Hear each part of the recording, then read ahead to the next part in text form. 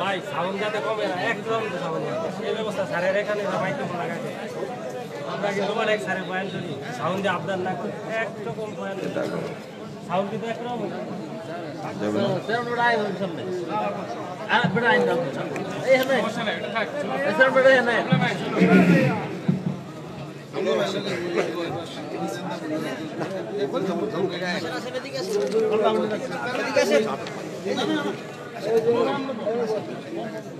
জায়গা আছে তো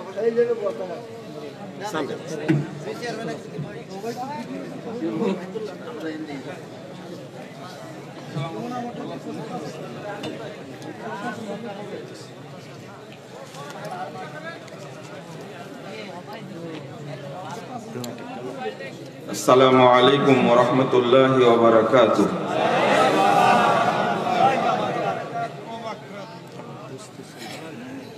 إن الحمد لله نحمده ونستعينه. من يهده الله فلا مضل له ومن يضلل فلا هادي له. وأشهد أن لا إله إلا الله وحده لا شريك له. وأشهد أن محمدا عبده ورسوله. أما بعد فأعوذ بالله من الشيطان الرجيم.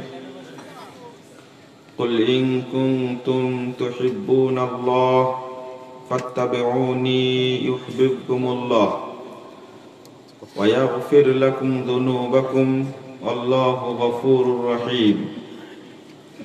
وقال تعالى ومن يشاقق الرسول من بعد ما تبين له الهدى ويتبع غير سبيل المؤمنين نوله ما تولى ونسله جهنم وساءت مصيرا.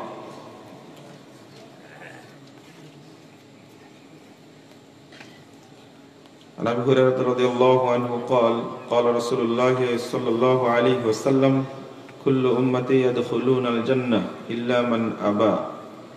قيل من أبى. قال من أطاعني دخل الجنة ومن عصاني فقد أبى. رواه البخاري. عن عائشة رضي الله تعالى عنها قالت قال رسول الله صلى الله عليه وسلم من عمل عملا ليس عليه أمرنا فهو رد. রওয়াহু মুসলিম। গাজীপুরের মাওনা চকপাড়া খানবাড়ি সালাফিয়া মাদ্রাসা ও এতিমখানা কর্তৃক আয়োজিত ইসলামী সম্মেলনের সম্মানিত সভাপতি উপস্থিত প্রধান আকর্ষণ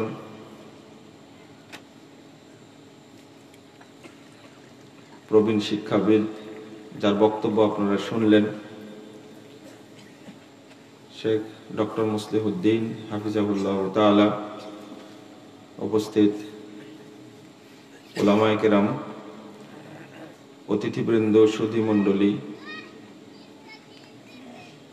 সামনে উপবিষ্ট শ্রদ্ধেয় মুসলিম ভ্রাতৃমণ্ডলী, আমার প্রাণপ্রিয় ছাত্র যুবক ভাইয়েরা। এবং পর্দার আড়ালের মা ও বোনেরা। সকলকে আন্তরিক অভিনন্দন জানাচ্ছি এবং আল্লাহর কাছে দোয়া করছি, আল্লাহ যেন আমাদের এই মাহফিলকে কবুল করে নেন। যে সমস্ত ভাইয়ের প্রচেষ্টায় আজকের এই মাহফিলের আয়োজন, যারা শ্রম দিয়েছেন, অর্থ, মেধা, বুদ্ধি এবং সার্বিক সহযোগিতা করেছেন এবং আপনারা যারা দূর দূরান্ত থেকে এসে এই সম্মেলনে অংশগ্রহণ করেছেন, আল্লাহ রব্বুল্লাহ আলমিন আপনাদের, আমাদের সকলকে জান্নাতুল ফেরদাউসের মেহমান হিসাবে কবুল করে নিন। বন্ধুরা, আমার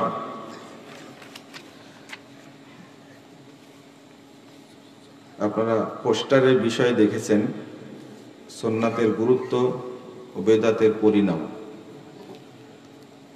দুইটা পৃথক পৃথক বিষয়। এ বিষয়ে ইনশাআল্লাহ সংক্ষিপ্ত আলোচনা পেশ করব। ওমা তৌফিকি ইল্লা বিল্লাহ। আলাইহি তাওয়াক্কালতু ওয়া ইলাইহি উনীব। আপনারা যারা দোকান পাঠে আছেন, যারা আশেপাশে ঘোরাফেরা করছেন, তাদেরকে প্যান্ডেলে আসার জন্য আমি বিনীত আহ্বান জানাচ্ছি। এসেছেন দুটা কথা শোনার জন্য। তো আপনি বাহিরে থাকবেন কেন? আপনার জন্য বাহিরে থাকা উচিত নয়। এই মাজলিসের যে ফজিলত, যদি আমরা জানতাম বা উপলব্ধি করতাম তাহলে মাহফিল উপলক্ষে কেউ দোকান দিত না।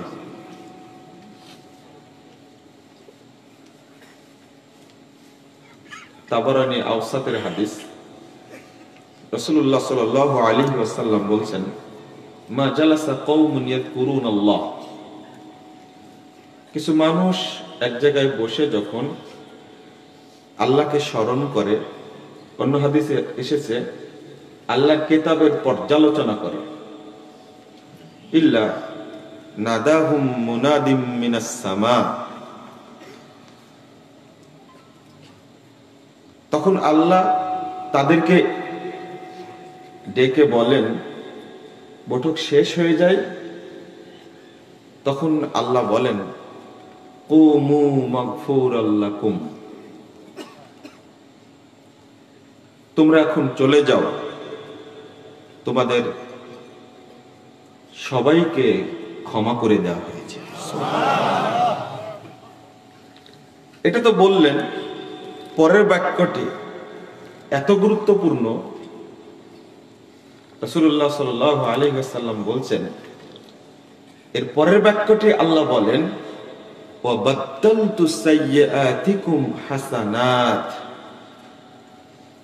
তোমরা ইতিপূর্বে যত পাপ করেছ সমস্ত পাপকে আমি আল্লাহ নেকিতে পরিণত করে দিলাম। এই হাদিস শোনার পরে কারও কি এই মাহফিল থেকে দূরে থাকা উচিত? আপনি এসেছেন, কষ্ট করে শীতের রাত্রি অনেক দূর থেকে এসেছেন। এক ভাই বললেন, ভুল করে। আমাকে ঠিকানা দিয়েছে ভুল। ২৬ কিলোমিটার দূরে চলে গেছিলাম। আবার ফিরে আসছে। ওই ভাই আসছেন ঢাকা থেকে।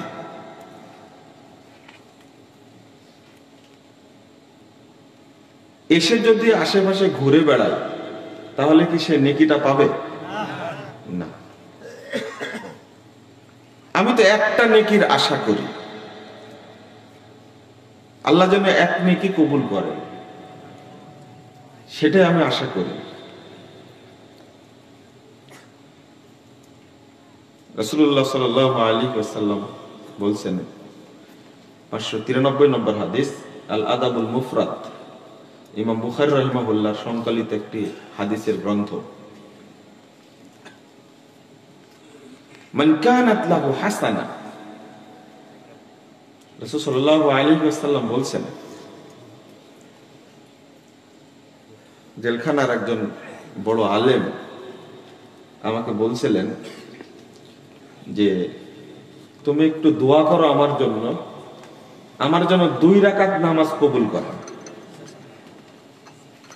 তো হাদিসটা তখন আমার জানা ছিল না। দুই রাকাতের জন্য দোয়া করতাম না। যে হাদিসটা এখন বলছি, যার এক নেকি থাকবে, কিয়ামতের মাঠে মান কানাত লাহু হাসানা, যার অবশিষ্ট থাকবে এক নেকি, দাখালাল জান্নাত। সে ব্যক্তি জান্নাতে প্রবেশ করবে। আর একটা হাদিস তাবরানি কাবিরের মধ্যে এসেছে, আটানব্বই নম্বর হাদিস। রসুল্লাহ সাল্লাহ আলাইসাল্লাম বলছেন, মান তুকুব্বিলাত লাহু হাসানা যার এক নেকি গ্রহণযোগ্য হবে আল্লাহর কাছে, মাত্র এক নেকি দাখালাল জান্নাহ, সেও জান্নাতে যাবে। তো কষ্ট করে এসেছেন, একটু নেকি হোক, এটা চান না? তাহলে আপনি দোকানে থাকবেন কেন? আলোচনা শুনবেন, বুঝবেন, অর্থাৎ উপলব্ধি করবেন, পাশাপাশি এটা সার্বিক জীবনে বাস্তবায়ন করবেন। বলুন ইনশাআল্লাহ। আলোচনার শুরুতে আমি দুঃখের সাথে জানাচ্ছি যে উপস্থাপনার সময় আপনাদের প্রিয় মানুষ আসমত আলী খান তিনি একজন আলেম মানুষ, কিন্তু উপস্থাপনার আগেই বললাম যে নামটা বলেন না, কিন্তু তিনি বলে ফেলেছেন। আমি শুনতে চাচ্ছিলাম না। এখানে লেখা যেহেতু আছে, সুতরাং বলা সমস্যা না, কিন্তু এটা শোনা সমস্যা। আমার নামের শুরুতে লেখছে আল্লামা নাউজুবিল্লাহ। এটা উচিত হয়নি। এটা আমি মানে কি ভাষায় বলব, আমার নামের শুরুতে এ সমস্ত কথা বসানো আমি সম্পূর্ণ নাজায়জ মনে করি। আল্লামা আমরা ওই যে আন্তর্জাতিক ক্ষতি সম্পন্ন মুফাস্তের কোরআন। এই যে এইভাবে সমাজটাকে নষ্ট করা হয়েছে, এটা বসানো উচিত হয়নি। এরপরে আবার শায়েখ তারপরে আবার ডক্টর মানে এত লকব লাগানো হয়েছে। আর আমি নাকি বিশেষ আকর্ষণ। এত বড় জ্ঞানী মানুষ যিনি বক্তব্য দিয়ে চলে গেলেন, এই মাহফিলে উপস্থিত থাকতে আমাকে বিশেষ আকর্ষণ করা হয়েছে। মানে আমি লজ্জিত আমি আসমাত ভাইকে কিছু বলিনি, যে মানুষের সামনেই যা বলার তাই বলব জিজ্ঞেস করেন আমি কিচ্ছু বলিনি। এইটা মোটে উচিত হয়নি। আলহামদুলিল্লাহ, আমরা প্রোগ্রাম করি। কে আগে পরে বক্তব্য দিচ্ছে সেটা বড় বিষয় না। এবং এটাই হওয়া উচিত। কিন্তু নামটা সেইভাবে সিরিয়াল করা উচিত ছিল। এই পোস্টারে আমি লজ্জিত হয়েছি। আপনার কাছে, আপনাদের কাছেও ক্ষমা চাই, আল্লাহর কাছেও ক্ষমা চাচ্ছি। আল্লাহ যেন ক্ষমা করেন। ভবিষ্যতে আপনারাও বিভিন্ন এলাকায় প্রোগ্রাম করবেন। এই হজরত মাওলানা আল্লামা আন্তর্জাতিক ক্ষতিসম্পন্ন মুফাসের কোরআন, তারপরে আর কি বলে যেন? হজরতুল আল্লাম, এটাও বলে। আল্লামা একটা আর আল্লাম একটা। আল্লামা শব্দটা বসে। অনেক বড় মাপের আলেমের ক্ষেত্রে। সেটা বাংলাদেশে কোনো আলেম আছে বলে আমার জানা নাই। আল্লাম হলেন নাসিরুদ্দিন আলবানি রহিমাহুল্লাহ। এনে হলো আল্লামা। নাম শুনছেন আব্দুর রহমান মুবারকপুরি। আমরা তার নামটা আমার সময় বলে কি? আল্লামা। আল্লামা বসানো যেতে পারে ডক্টর মুস্তাউদ্দিনের নামের শুরু। ও আপনি এখানে আছেন আল্লামা বসানো যেতে পারে শেখ বিন বাজ। আমরা সবসময় ইমাম শব্দটা উল্লেখ করি তাদের নামের শুরুতে আল্লামা শেখ মোহাম্মদ বিন সোয়াল আল উসাইমিন এই ভাষাগুলো ব্যবহার করি। তারা চলে গেছেন। তাদের কেতাব পড়লেই বুঝবেন যে আল্লামা কাকে বলে। তো এই শব্দগুলো আমরা দেখতেও চাই না, শুনতেও চাই না। নামটা যদি বলেন যে মুজফর বিন মোহসিন। এটাতেই আলহামদুলিল্লাহ। আগেও কিছু দরকার নাই, পরেও কিছু দরকার নাই, প্রয়োজন নাই। এই সংশোধনের কথাটা বললাম, আর হজরত শব্দটা বলবেন না আপনারা, মনে থাকবে? নবীর নামের শুরুতেও না, সাহাবীর নামের শুরুতেও না, কোন হুজুরের নামের শুরুতেও না, হুজুর শব্দটাও বলবেন না। শায়েক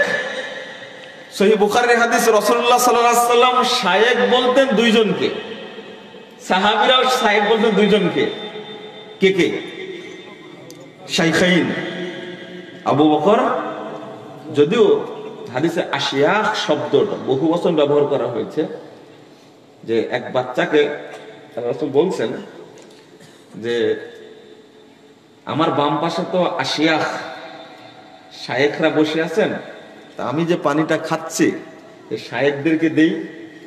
তো বাচ্চাটা বলছে, আপনার অংশ কি আমি শায়েকদের জন্য ছেড়ে দিব? ওখানে পাঁচ জায়গায় সেই বুখারি হাদিস আসছে, আশিয়াখ। শায়েক শব্দটা হাদিসের ভাষা। তো এবার চিন্তা করুন, আমাদের নামে শায়েক বসানো যাবে? আমাদেরকে ভাই বলবেন মুজাফর ভাই, অথবা বলেন মুজাফর এটাতে আলহামদুলিল্লাহ। এর চেয়ে বেশি কিছু দরকার নাই রাগ করলেন? না, আমরা তো বসাতে বসাতে একবারে মানে অন্যরকম করে ফেলেছি।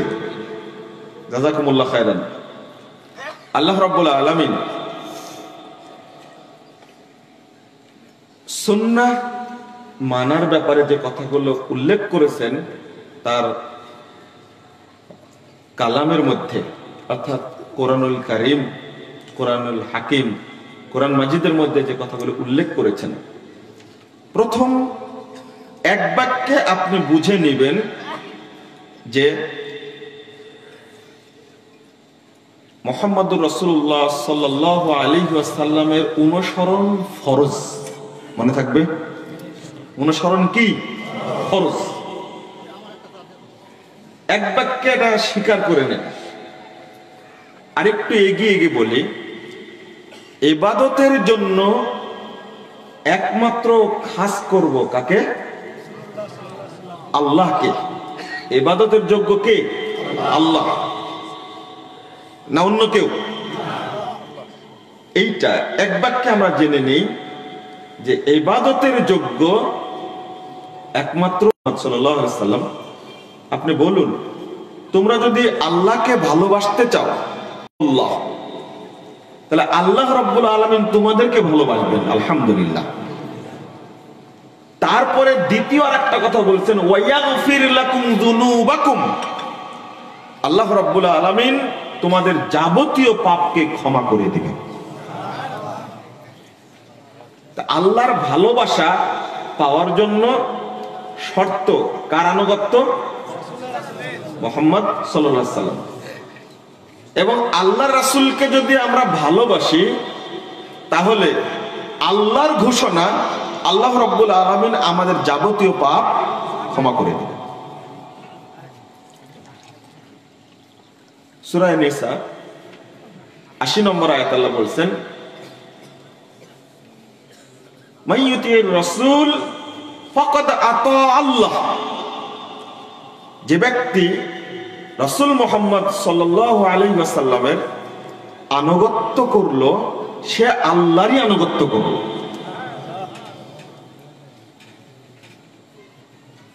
এবার সহি হাদিস, দ্বিতীয় খণ্ডের এক হাজার একাশি পৃষ্ঠা হাদিসটি বর্ণিত হয়েছে। মোহাম্মদ রসুল্লাহ সাল আলী আসাল্লাম বলছেন, দেখেন, আল্লাহর এবাদত করার জন্য রাসুলের তরিকা মানা যে ফরজ, রাসুলের অনুসরণ যে ফরজ, আগে আপনাকে এই বিশ্বাসটা রাখতে হবে। যেটা আমি সাক্ষ্য দিয়েছি আগেই, আশহাদু আল্লাহ ইলাহা ও আশহাদু আন্না মুহাম্মাদান আব্দুহু ওয়া রাসূলুহু। যদি কালেমা শাহাদাতের তাৎপর্য অর্থটা যদি উপলব্ধি করতাম আমরা, তাহলে মুসলিম সমাজে কোনো বেদাত জন্ম নিত না। কালেমা শাহাদতটাই বুঝি না।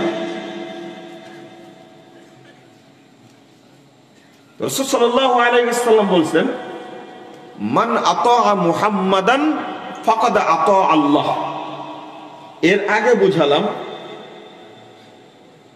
রসুল্লাহ সাল মানতে হবে, এটা কে বললেন? আল্লাহ। আরেকটা আয়াত আছে ইনতুতি ওহু তাহতাদু। চুয়ান্ন নম্বর আয়াত, সুরা নূরে খুলেন যদি তোমরা মোহাম্মদ সাল্লামের এতাত করো, তবে হেদায়েত পাবে, শার্ত এবং মাসরুত যদি তোমরা তার আনুগত্য করো তাহলে হেদায়ত পাবা। মানে একটা শর্ত করে নিচ্ছেন আল্লাহ।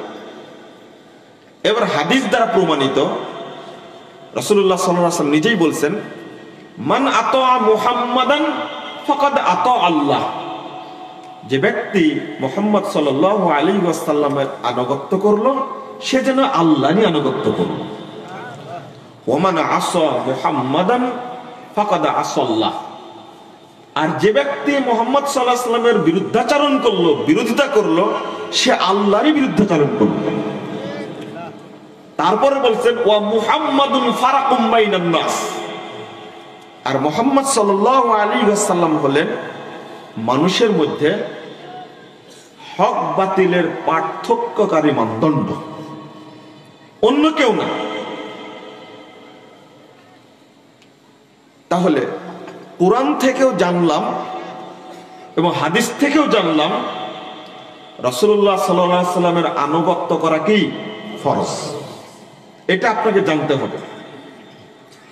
যদি এই আয়াতগুলো উপলব্ধি করা হতো, এই হাদিসগুলো উপলব্ধি করা হতো, তাহলে আহলে কোরআন নামে হাদিসকে অস্বীকারী এই বিয়াদবদের জন্ম হতো না। আপনারা এটা স্পষ্ট জানেন, যারা শুধু বলে যে আমরা শুধু কোরআন মানবো, হাদিস মানবো না, তারা মুসলিম না। তারা কি? মুসলিম না। সবচেয়ে দুঃখজনক বিষয়, কিছু তরুণ আর কিছু জেনারেল শিক্ষিত মানুষকে এই প্রতারকরা প্রতারিত করছে, ধোকা দিচ্ছে এখন।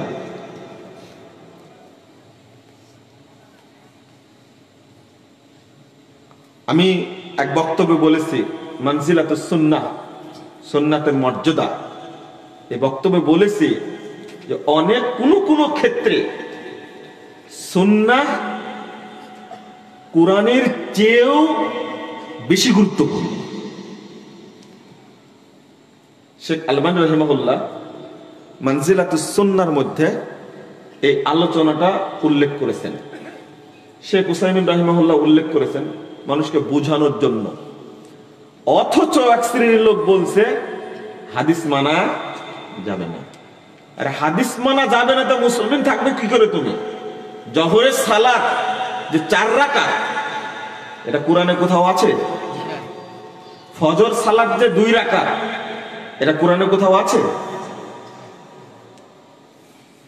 তাদের যুক্তি কি জানেন? যে এটা ট্রেডিশন চলে আসছে। এটা তো আর দলিল লাগে না। কত বড় পতভ্রষ্ট চিন্তা করেন আপনি?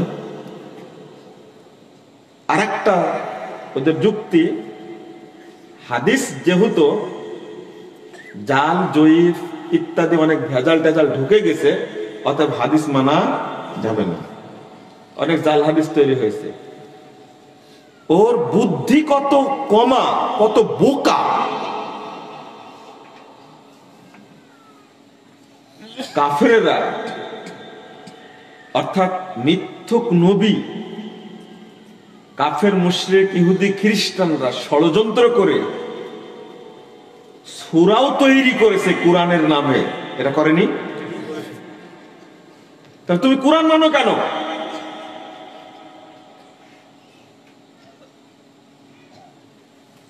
এটা সুরা বুরুজ আছে না? আছে? ওই শয়তানরা তৈরি করেছিল সুরাতুল ফুরুজ। আমরা কি সুরাতুল ফুরুজ নামে কোন সুরা কোরআনের মধ্যে পাই? নাই। আমি এটা দলিল দিচ্ছি যে তোমার জ্ঞান নাই। তাহলে তুমি কি বলবা যে কোরআনের মধ্যেও যেহেতু জাল ঢুকানো হয়েছে শিয়ারা এখনও বিশ্বাস করে যে কোরআন হলো নব্বই পারা। উসমান রাজিয়াল্লাহ ষড়যন্ত্র করে আলী সম্পর্কে, পরিবার সম্পর্কে যেগুলো ছিল, এইগুলো ষাট পারা গোপন করে বাকি তিরিশ পারা ছড়িয়ে দিয়েছে। কিন্তু মূলত কোরআন কয় পারা? নব্বই পারা। নাউজুবিল্লাহ বলবেন না? তাহলে কোরআনও তো বিকৃত। নাউজুবিল্লাহ। তোমরা কোরআন মানো কি করে? কত আয়াত তৈরি করেছে কোরআনের নাম দিয়ে শিয়ারা। তুমি যদি হাদিসকে বলতে চাও বিকৃত, তাহলে কোরআনও তো সুরা তৈরি করেছে তারা। বিকৃতি ঘটাইছে কোরআনের মধ্যেও। তাহলে তুমি কি বলবা আমরা কোরআনও মানি না? আসলে এরা হলো ধান্দাবাজ। এরা ধান্দাবাজ, না হলে শরীয়তের কোনো আহকাম হাদিস ছাড়া মানা কি সম্ভব? না। কোন ক্রমে সম্ভব না। মাঝখানে কতটুকু বলে নিলাম। এবং এটাও বলে দিই কোরআন নিজের মতো নিজের মতো বুঝতে গিয়ে যুগে যুগে এক শ্রেণির মানুষ পথভ্রষ্ট হয়েছে। এখনও হচ্ছে, কেয়ামত পর্যন্ত হতেই থাকবে। আল্লাহ যেন আমাদেরকে এই পথভ্রষ্টদের থেকে রক্ষা করেন। অতএব আপনি যত বড়ই পাণ্ডিত্যের অধিকারী হন না কেন কোরআন হাদিস বুঝার জন্য সালাফি আলেমদের কাছে আসুন তাদের বই পড়ুন। বাংলা বুখারি খুলবেন কোরআনের অনুবাদ খুলে ফতোয়া মারবেন অথচ হাদিস সম্পর্কে আপনার কোনো জ্ঞানই নেই। আপনার তো এই হাদিস, এই আয়াতটাও জানা নাই। আল্লাহ বলছেন, একশো সাঁত্রিশ নম্বর আয়াত।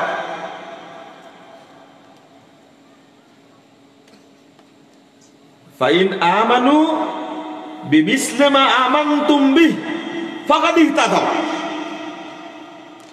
সাহাবা কেরাম যেভাবে ঈমান এনেছেন, তোমরা যদি, তারা যদি সেইভাবে ইমান আনে আল্লাহ সাহাবীদেরকে লক্ষ্য করে বলছেন যে তোমরা যেভাবে ঈমান এনেছো, ঠিক ওইভাবে তারা যদি ঈমান আনে, ফাকাদ ইহতাদাও তাহলে সে হেদায়েত পাবে। তাহলে কোরআন কীভাবে মেনেছেন? মোহাম্মদ রসুল্লাহ সাল্লাম, সাহাবা কেরাম তাবে ইনেজাম তাবে তাবেইগণ তারা যেভাবে মেনেছেন আমাদেরকে ওইভাবেই মানতে হবে। তুমি নতুন বুঝ দিয়ে জাতিকে বিভ্রান্ত করবে। হাদিস মানবো না, এই কথার অর্থ হলো মোহাম্মদ রসুল্লাহ সাল্লামকে অপমান করা। আরে ফ্রান্সে ব্যঙ্গচিত্র আঁকাইছে, তা তোমার অন্তর জ্বলে যাচ্ছে। কি তুমি ঘরে বসে থেকে সুন্নাতকে কাটাছেড়া করছ, তাতে তোমার লজ্জা হয় না? তোমার শরম হয় না? মাইকের সাউন্ড একটু কমাও তো। রাসুল্লাহ সাল্লামের সুন্নাত মানতে মানার নামে তুমি বেদাত করছ। এটা রাসুলকে অপমান করে না?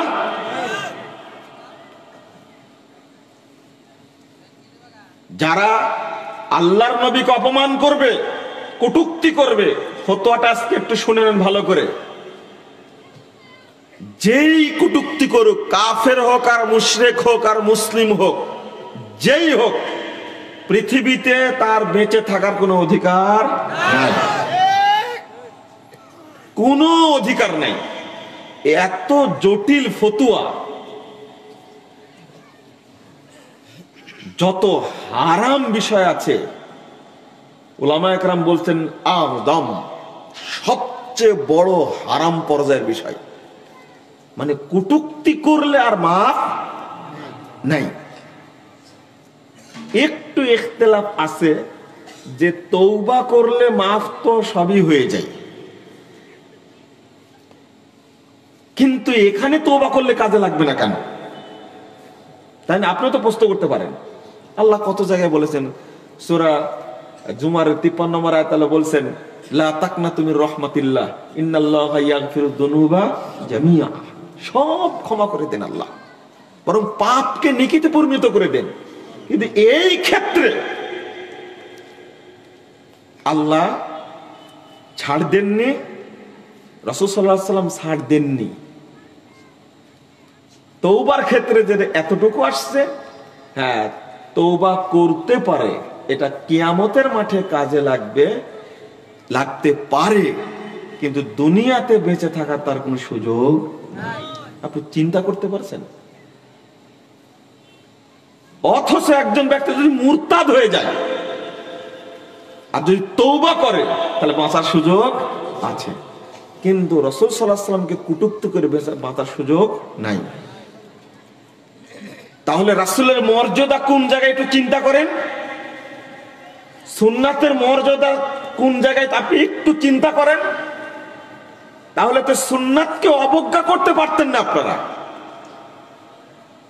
যারা বলে মোহাম্মদ সাল্লাম শেষ নবী না, গোলাম আহমদ কাদিয়ানি হলো শেষ নবী, তারা হলো কাফের। এই কথা কেউ যদি বলে, এই কথা কেউ যদি বলে যে শেষ নবী মোহাম্মদ না, ও কি মুসলিম থাকবে? কাফের। ঠিক যে ব্যক্তি বলে হাদিস মানা যাবে না, শুধু কোরআন মানবো ওই ব্যক্তির মুসলিম থাকবে? না। যেভাবে বিভ্রান্তি ছড়াচ্ছে, ঠিক কাদিয়ানি গোষ্ঠীটাও রাষ্ট্রীয় পৃষ্ঠপোষকতায় তাদের বিভ্রান্তি সর্বত্র ছড়িয়ে দিচ্ছে। নওয়াজবিল্লাহ এই জন্য আমরা অনেক আগেই বলেছি, বক্তব্যে বলে থাকি, আল্লাহর রাসূলের মর্যাদা রক্ষার স্বার্থে মুসলিম দেশে কাদিয়ানিদেরকে ডাইরেক্ট কাফের ঘোষণা করতে হবে খুব তাড়াতাড়ি। এই দাবি বহু আগে থেকে জানিয়ে আসছি। কারণ মোহাম্মদুর রসুল্লাহ সাল্লাহ আলী সাল্লাম সম্পর্কে কুটুক্তি করলে আমরা মেনে নিতে পারি না।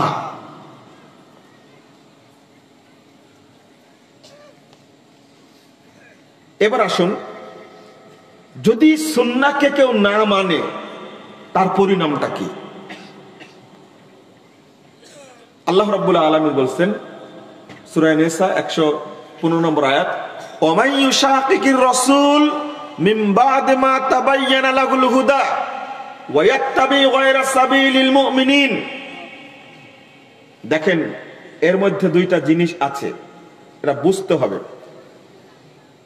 সুন্নাত প্রকাশিত হওয়ার পরে, স্পষ্ট হওয়ার পরে, যদি কেউ তার বিরোধিতা করে শাকিক যদি বিরুদ্ধাচারণ করে, যদি নাফরমানি করে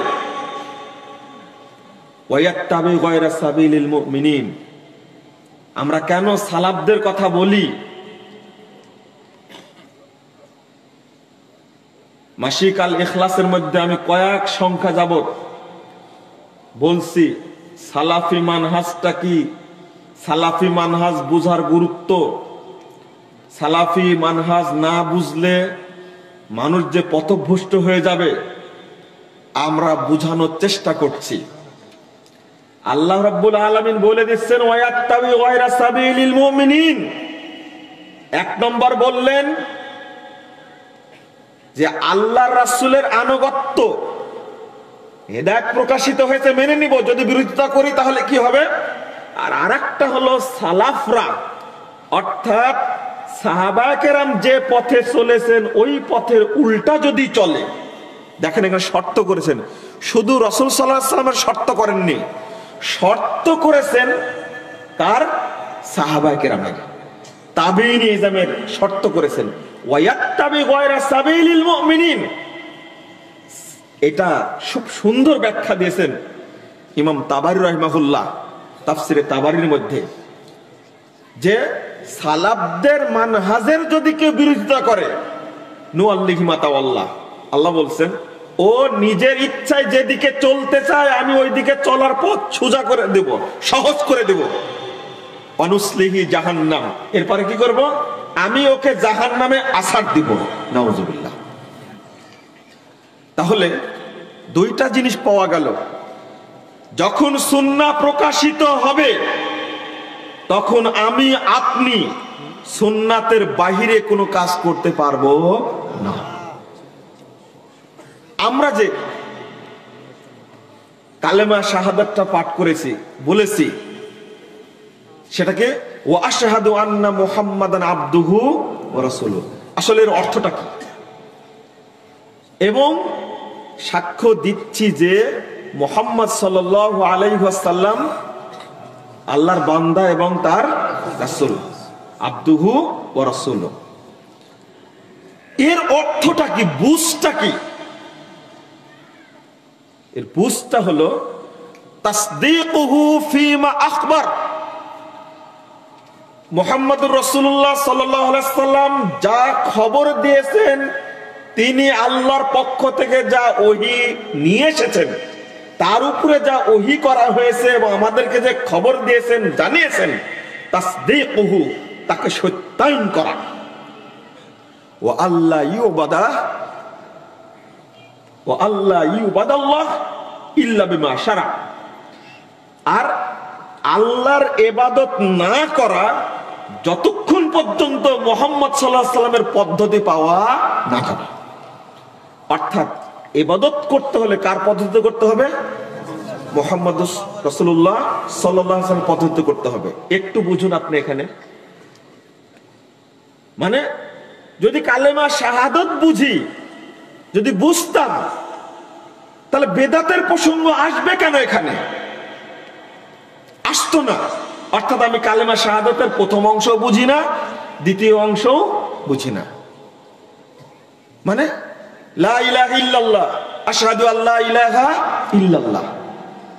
এখানে আল্লাহ রাব্বুল আলামিন তাগুত এবং তাওহিদকে আলাদা করে দিয়েছেন। সেটা যেমন বুঝি না, তেমনি মোহাম্মদ সাল্লাল্লাহু আলাইহি ওয়াসাল্লামের প্রতি ইমান আনতে হবে কীভাবে? সাতটি যে শর্ত আছে, এটাও বুঝি না। তাসদিকটা কেমন? চলুন। এখানে একটু আপনাকে বুঝতেই আপনার তাসদিক কয়েক জায়গায় লাগবে। শুধু প্রথমে আপনি আসাদু আল্লাহ ইলাহিল্লাহ আসাদু আন্না মোহাম্মদ আব্দুহ রাসুলু বলে আপনি মুসলিম হয়ে গেলেন। আর তাস্তিক লাগবে না? লাগবে। এটা কবরেও লাগবে। এটা কবরেও লাগবে। তাসদিকটা, সত্যানটা কেমন হবে? মোহাম্মদুর রসুল্লাহ সাল্লাম যে বিধান নিয়ে এসেছেন, তার প্রতি বিশ্বাসটা আপনার কত গাঢ়, কত মজবুত, কত দৃঢ়, কত শক্ত হতে হবে, কত গভীর হতে হবে। সেটা এই হাদিস থেকে প্রমাণ পাওয়া যায়। চার হাজার চারশো সাত নম্বর হাদিস মোস্তাদা হাকিমের মধ্যে এসেছে। রসুল্লাহ সাল আলী সাল্লাম যখন মক্কা থেকে চলে গেলেন কোথায়? বাইতুল মাকদেশ আপনার এদিক কেবলা কোন দিকে? এদিকে না এদিকে? সামনের দিকে। রসুল্লাহ সাল্লাম যখন মক্কাতে কোথায় গেলেন? বাইতুল মাকদেশে গেলেন। নিয়ে যাওয়া হলো তাকে। আবার ওই রাত্রিতেই সপ্তম আসমান পর্যন্ত যে আল্লাহর সাথে কথা বলে আবার ফেরত আসলেন। আসলেন না?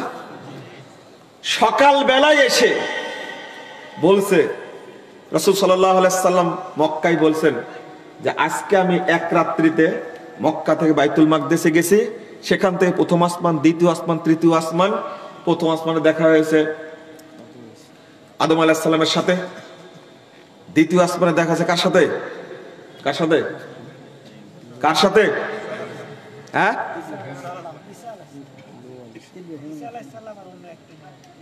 এবার প্রশ্ন করে, ঈসা আলাহিসাল্লাম কোন আসমানে আছেন? চতুর্থ, কে শিখাইছে আপনাদের গেল এই কথাটা জানার জন্য প্রশ্নটা করলাম। এই যে চতুর্থ আসমানে আছে মানে আমাদের ওই হাদিসের বর্ণনাটা মেয়েরাজের বর্ণনার মতো হয়ে গেছে। সবে ময়রাজ পালন করে অবুঝের মতো, নির্বোধের মতো। সবে মরাজের যে অনুষ্ঠান করে, অত মেয়েরাজের হাদিসটা পর্যালোচনা করে, আর এই সব বোকাগুলি বুঝে না যে আল্লাহ কোথায় আছে। ওই লম্বা হাদিসে আছে না, রসুল সাল্লাম আল্লাহর কাছ থেকে ফিরে আসলেন কার কাছে? ষষ্ঠ আসমানে আছেন কে? মুসা আলাহিসাল্লাম তার কাছে ফিরে আসলেন। মুসাল্লাম বললেন, মোহাম্মদ, আমি উম্মত চড়িয়েছি।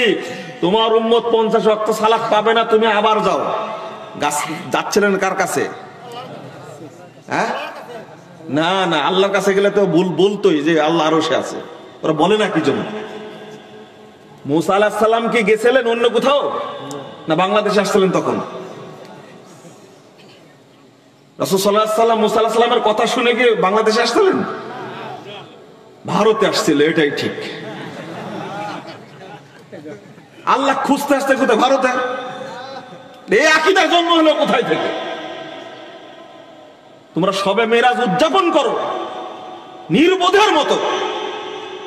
হাদিসটা বুঝো না তোমরা? আবার ফিরে গেলেন। আল্লাহকে বললেন কমাই দেন। কয়েক কয় অক্ত কমালেন? পাঁচ অক্ত। মুসাল্লাহ সাল্লাম আবার বললেন, আবার যাও। উম্মতকে আমি চিনি, তোমার উম্মত পারবে না। কোন হাদিসে এসেছে, নয় বার গেছেন। কোথায় গেছিলেন? আল্লাহর কাছে আবার ঘুরে বলছেন আপনারা। আরও সাহায্য আল্লাহর কাছে গেছেন।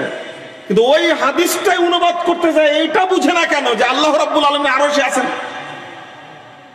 আপনারা কোনো বুঝতেন আপনারাও কি বুঝতেছেন? হ্যাঁ? কাহিনীও আছে। মানে খাটাস কি গাছে ধরে? খাটাস চিন না আপনারা খাটাস কি গাছে ধরে? দেখেন আগে, কথাটা একটু, আমি একটা গল্প বলব একটু পরে, এটা শুনেন আগে। আবার গেলেন।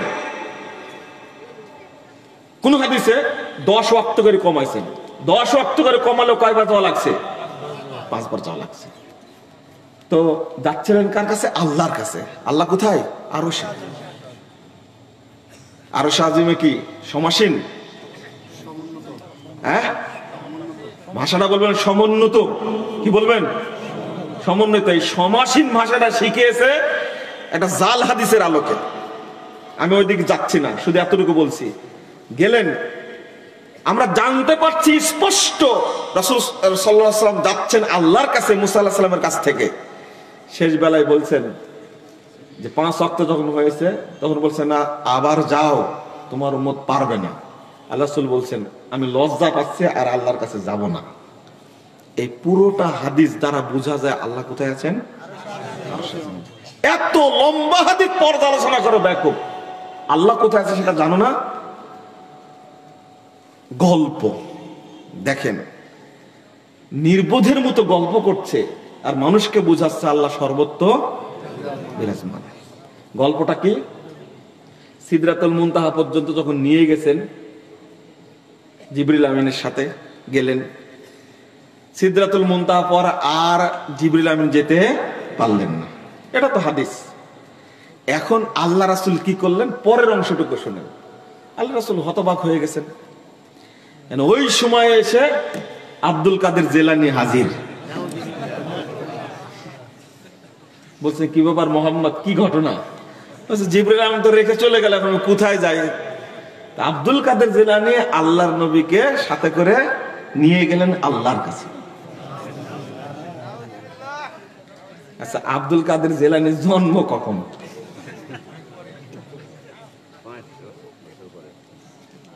পাঁচশো উনসত্তর হিজড়িতে মারা গেছে। কত? উনসত্তর নামটা উনসত্তর কি উনআশি এরকম হতে পারে, আমার ভুল হতে পারে। তো আব্দুল কাদের জেলানিকে ওই জায়গায় পেলেন কোথায়?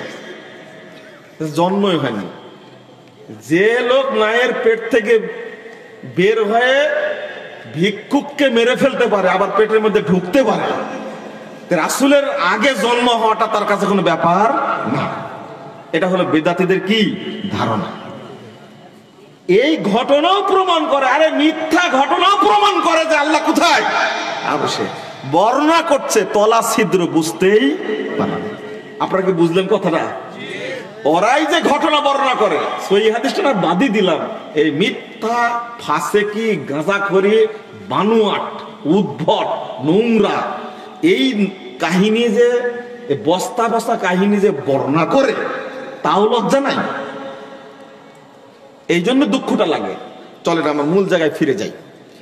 রসদ সাল্লাহ আলাইসাল্লাম যখন সংবাদ দিলেন, আমি এক রাত্রে সব দেখে ফিরে এসেছি জান্নাত দেখেছি, জাহান্নাম দেখেছি। কাফের, মুশরেক আর মুনাফেক। কয় শ্রেণি? তিন শ্রেণি। এরা মক্কার। এরা বলছে যে, যাক, এতদিন মোহাম্মদকে সাইজ করতে পারেনি, এবার ওকে সাইজ করা যাবে। কারণ এই ঘটনা কেউ বিশ্বাস করবে না। প্রথম বুঝানোর জন্য এই তিন শ্রেণির বদ চলে গেছে আবু বকর রাজালের কাছে। মুসান্নফ আব্দুর রাজ্জাকের মধ্যে একটু বিস্তারিত এসেছে, যে বলছে আবু ঘটনা তো ঘটে গেছে। কি ঘটেছে? আরে, এই করেছে। এক রাত্রে নাকি বাইতুল মাকদেসে গেছে, আবার প্রথম আসমান, দ্বিতীয় আসমান সব ঘুরে ওই রাত্রে চলে এসেছে। তখন আবু বকর রাদিয়াল্লাহু বলছেন যে, মান আখবার? তোমাকে, তোমাদেরকে এই সংবাদটা কে দিয়েছে? তাহলে আবু বকর রাদিয়াল্লাহু আনহু কোনো মুসলিমের কাছ থেকে শুনেননি। কাদের কাছ থেকে শুনেছেন? কাফের মুশরিকদের কাছ থেকে শুনেছেন। তখন বলছে, আরে, তোমাদের মোহাম্মদ বলেছে এই কথা। সাল্লাম। তখন আবু বকর রাদিয়াল্লাহু আনহু বলছেন, ওয়া ইন কানা ক্বালা যালিকা মুহাম্মদ লাকাদ সাদাক। যদি এই কথা মুহাম্মদ তোমাদেরকে বলে থাকে, তাহলে তিনি সত্যই বলেছেন। আল্লাহু এইটা হলো তাসদীক। সত্যায়ন একেই বলে। এবার তারা ধমক দিয়েছে।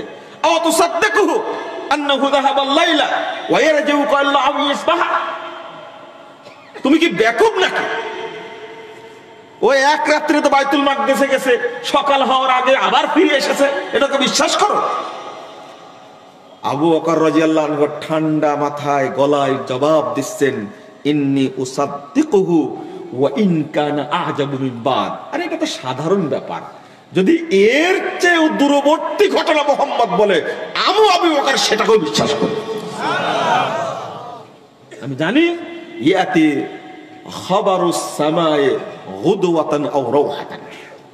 কারণ আমি জানি মোহাম্মদ সাল্লাহ ইসলামের কাছে সকাল সন্ধ্যা আল্লাহর পক্ষ থেকে আসমান থেকে ওহি নাজিল হয়।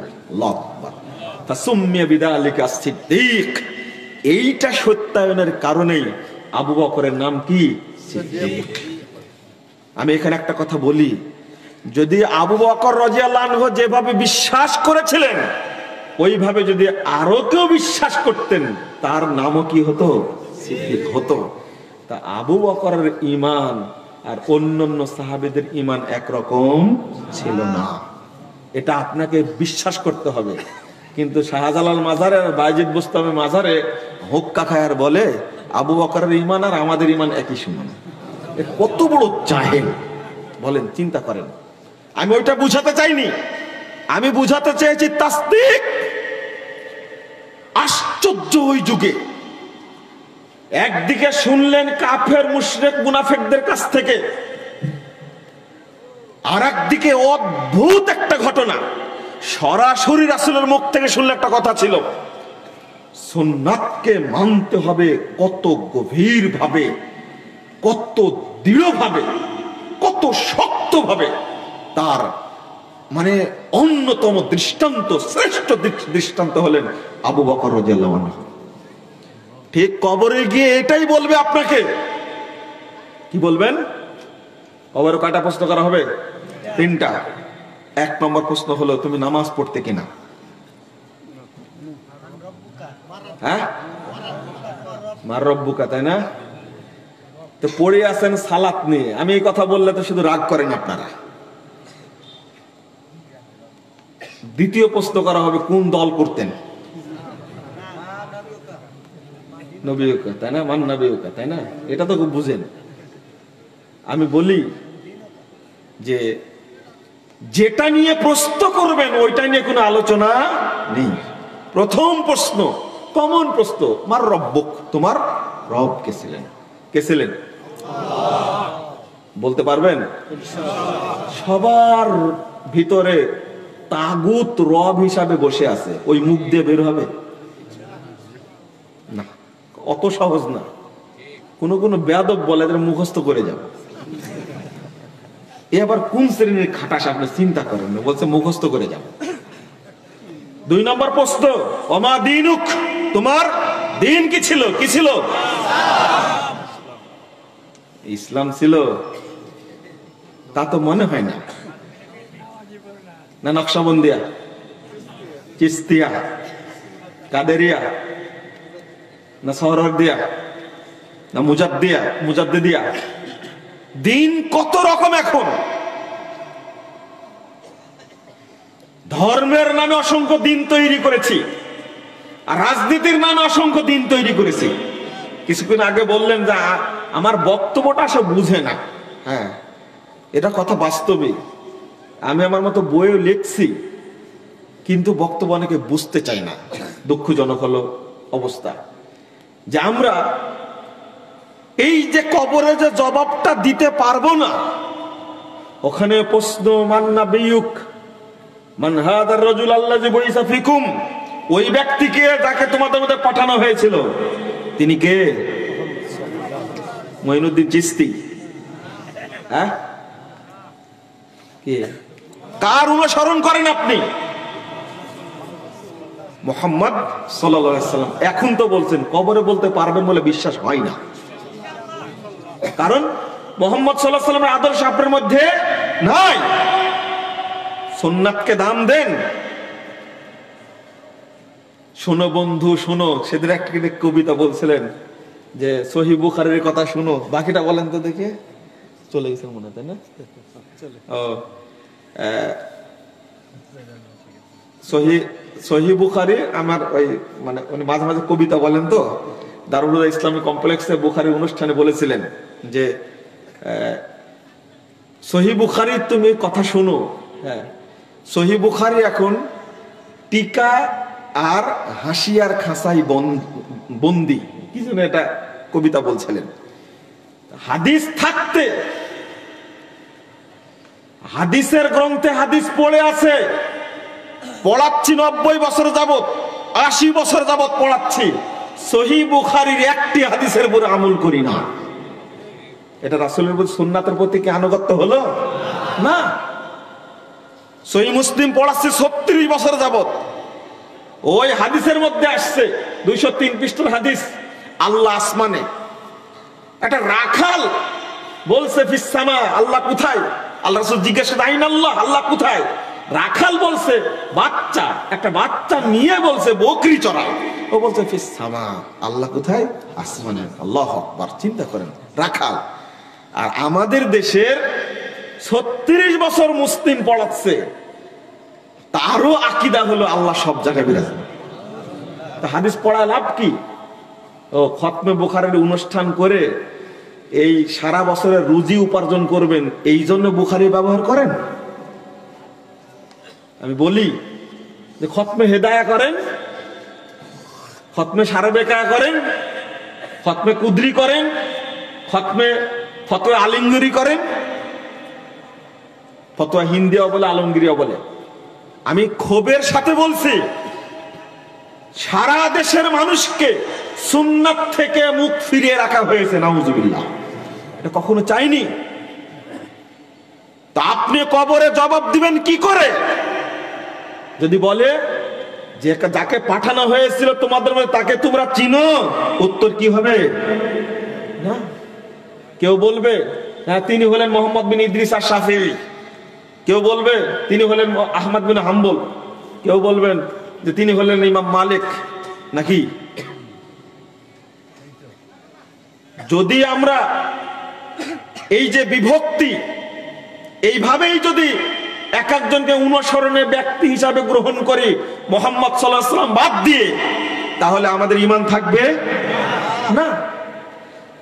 যদি তিনটা প্রশ্নের উত্তর আপনি পেয়ে যান তাহলে আপনাকে যদি উত্তর দিতে পারেন আপনি, চতুর্থ প্রশ্ন করবে ওমাই নিদ্রিকা তোমাকে কে জানালো? আল্লাহ রব হলেন আল্লাহ, দিন হলো কি? ইসলাম। আর নবী হলেন মোহাম্মদ সাল্লাম কে জানালো? তখন ওই ব্যক্তি দাপটের সাথে জবাব দিবে। ভাবখান এরকম পারব না মানে? পড়ার তো কিতাব আল্লাহ। আমি আল্লাহর কেতাব পড়েছিলাম। অসত্তাক্তু বিহি ওয়া আমান্তু। এই দেখেন সদ্দাক্তু বিহি তাসদিক। আমি এই জন্য কথাটা নিয়ে আসলাম। তাসদিক করতে হবে ভিতরে, সত্যায়ন করতে হবে, বাস্তবে রূপ দিতে হবে। তবেই ফেরেস্তার কাছে বলতে পারবেন, আমি তাকে সত্যায়ন করেছিলাম ও আমান্ত বিহি এবং তার প্রতি ইমান এনেছিলাম। আল্লাহ এই কথাটা যারা বলতে পারবে, তাদের হৃদয়ে কি শিরিক থাকবে? বেদাত থাকবে? বন্ধুরা আমার যদি মুসলিম ঐক্যের প্রয়োজন হয়, সালাফি মানহাজ ছাড়া ঐক্য করায় টিকে থাকা সম্ভব নয়। একদিনে শেষ হয়ে যাবে। রানা প্লাজার মতো হবে। বুঝছেন তো? রানা প্লাজা চিনেন তো? মানহাজ, গোড়া যদি শক্ত না করে, উপরে যদি সাততলা বিল্ডিং দিয়ে বিভিন্ন চিস্তিয়া তরিকার একতলা, মুজাদ্দিদের তরিকার একতলা কাদেরিয়া তরিকার একতলা। তারপরে হলো নকশাবন্দি তরিকার একতলা। শরিয়রদের তলে- তরিকার একতলা। তারপরে আরও যেগুলো মতবাদ আছে, সবগুলো বেরলবিদের একতলা, দেওবন্দীদের একতলা। এই তালা কি থাকবে না ধসে যাবে? ধসে যাবে। কারণ এক একজনের মানহাজ এক এক রকম। এই জন্য মানহাজটা ঠিক করে তার উপরে ঐক্য হলে ওইটা টিকসই হবে। ওটার মাধ্যমেই বাংলাদেশে খেলাফত প্রতিষ্ঠা লাভ করবে ইনশাআল্লাহ। চলুন রাতও গভীর হয়ে যাচ্ছে, আপনারা বিরক্ত হয়ে যাবেন। আমি আর একটু এগিয়ে যাই। সেটা হলো, সুন্নাতের গুরুত্বটা একটু বলব, এরপরে বেদাত সম্পর্কে একটু বলব। আমরা সুন্নাত থেকে অনেকটাই পিছিয়ে গেছি। সুন্নাতের মর্যাদাটা বুঝতে চাই না। যেটা বুঝতেন সাহাবা কেরাম। এত শক্ত ভাবে বুঝতেন। তার মানে? দুই হাজার নব্বই নম্বর হাদিস। সই মুসলিম খুলুন। মোহাম্মদ রসুল্লাহ সাল্লাহ আলাইসালামের ছিল। কি ছিল? আল্লাহ রসুল সাল্লাম ঈদ মাঠে গিয়ে প্রথম খুতবা দিতেন না সালাদ পড়তেন? সালাদ পড়তেন, তাই না? কিন্তু মারওয়ান যখন খলিফা, তিনি বললেন না, আগে খুতবা হবে, তারপরে কি? আবু সাইদ খদির রাজাল্লাহ উপস্থিত ছিলেন। তিনি বলছেন, ওয়াল্লাহি লা তাতুনা বিখাইরিন, ওয়াল্লাহি লা তাতুনা বিখাইরিন, ওয়াল্লাহি লা তাতুনা বিখাইরিন। সুম্মান সারাফা। যখন আবু সাইদ খুদরি ওই জায়গায় উপস্থিত থেকে বলছেন, না, আগে হবে সালাত, তারপরে হবে কি? খুতবা। এটাই সুন্নাত। চিন্তা করেন, সাহাবীদের মধ্যে চেতনা কি? মারওয়ান বলছেন, মাতালাম কত্তুরিকা মাতালাম। আবু সাইদ, আপনি যেটা জানেন সেটা এখন চলবে না ওটা রহিত হয়ে গেছে। বলুন নওজুবিল্লাহ তিনি বললেন, আল্লাহর কসম করে বলছি, তোমরা কখনো সফল কাম হবে না। তোমরা কখনো সফল কাম হবে না। তোমরা কখনো সফল কাম হবে না। সোম্মান সারাফা, অতঃপর ঈদগাহর মাঠ থেকে ফিরে চলে গেলেন। আমি এই ঈদগাহে করব না। আর আজকে যদি আপনি এটা করেন, তো কিছু বুদ্ধিজীবীর জন্ম হবে। লোকটা বিয়াদব। পড়তে পারতো। কি সমস্যা ছিল এমনটা, এই, সেই ইত্যাদি? আবু সাইদ খুদির রাজাল্লাহ শেষ যুগের মানুষ। পাঁচশো উনত্রিশ নম্বর হাদিস, সহি বুখারি খুলুন। তিনি কাঁদছেন বসে বসে। দামেশকে তিনি বসে বসে কাঁদছেন আনাস রাজিয়াল্লাহ কেন কাঁদছেন? যে আমি যা দেখছি, তাতে শুধু রাসুল সাল আলাইসাল্লামের যজ্ঞ যা ছিল, এখন সালাদ ছাড়া কিছু নাই। কিন, সাহাবিরা বলছেন যে সালাতো কি নাই? অন্যরা বলছেন কি সালাতো কি নাই? তখন বলছে সালাতো নাই। যেভাবে সালাদকে নষ্ট করেছ, সেভাবে নষ্ট করতে কিছু বাকি নাই। সালাদটাকে নষ্ট করেছ। পাঁচশো উনত্রিশ নম্বর হাদিস বুখারি। আপনি চিন্তা করতে পেরেছেন? আনাস বলছেন যে, তোমাদের মধ্যে যে সালাদটা দেখতে পাচ্ছি, এই সালাত রাসুলের সালাত নয়। আপনি একটিবারও হিসাব করলেন না, আকিদারও হিসাব করলেন না, সালাতেরও হিসাব করলেন না। যেহেতু সালাদটা শুদ্ধ করে আকিদারা শুদ্ধ করে হিসাব করলেন না। আবু সাহেদ খুদির রাজিয়াল্লাহ বেরিয়ে চলে গেলেন। পনেরোশো দশ নম্বর হাদিস খুলুন। সহি বুখারি মোয়াবিয়া রাদিয়াল্লাহু আনহু এসে বললেন, মদিনায় যে গমের আধা সা ফেতরা দিলে ফেতরা আদায় হয়ে যাবে। আবু সাইদ খুদরি দাঁড়িয়ে বললেন, লা উখরিজু, আমরা ফেতরা দেব না। আমরা দিয়ে আসছি এক সা করে রাসূলের যুগ থেকে। আমরা রাসূলের যুগের মতোই এখনও ফেতরা দিয়ে যাব। আমি যতদিন বেঁচে থাকব। চিন্তা করতে পেরেছেন? কত শক্ত! হাদিস দেখুন। চারশো তেতাল্লিশ নম্বর হাদিস দারবির মধ্যে এসেছে। সাহাবাগ্রাম এত শক্ত ছিলেন সুন্নাতের পক্ষের বেদাতের বিরুদ্ধে। ওইটা আমাদের মধ্যে নাই ওই চেতনাটা নাই।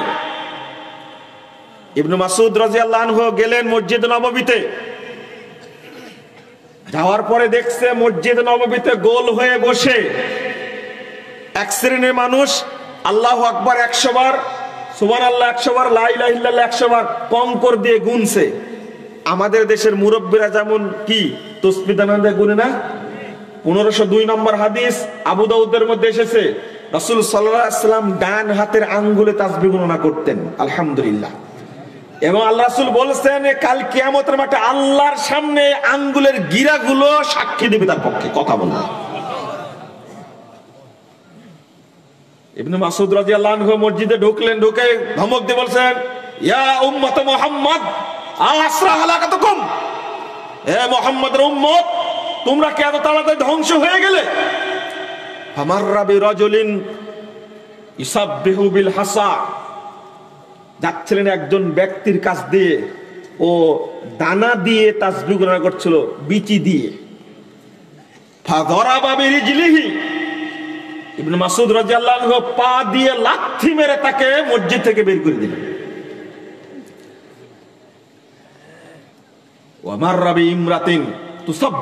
হাসা আর একজন মহিলার পাশ দিয়ে পার হচ্ছিলেন। ওই মহিলা ছোট ছোট কঙ্কর দ্বারা কি গুনছিলেন? এর ইবনু মাসুদ আনহুর যুগে আপনি কি ভাবতে পেরেছেন কথাটা? ইবনু মাসুদ আনহুর যুগে বিদাত তৈরি হয়েছে। তিনি ওই মহিলার কাছ থেকে কেড়ে নিলেন এবং ওটা ফেলে দিলেন। আল কাহা ফেলে দিলেন তিনি।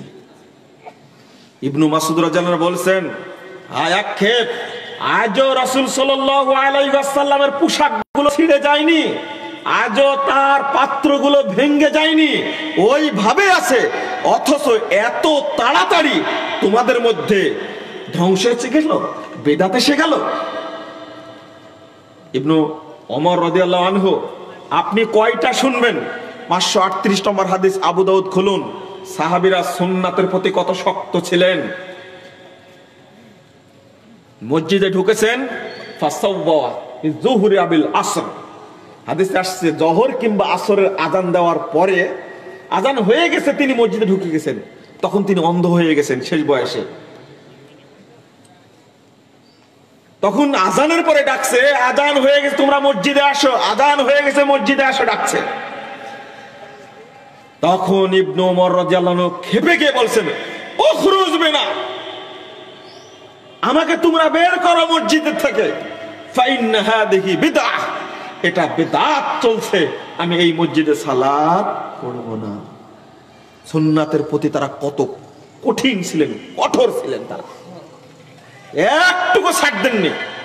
বিশেষ করে ইবনু উমর আনহু। পা- পাঁচ হাজার সাতশো নম্বর হাদিস। আপনি খুলেন। মুস্তাদ আহমদ, সহি বুখারির এক হাজার, সহি মুসলিমের এক হাজার সতেরো নম্বর হাদিস খোলেন আপনি। দেখুন। একটু শুনেন। আপনারা একটু মনে বিরক্ত হচ্ছেন।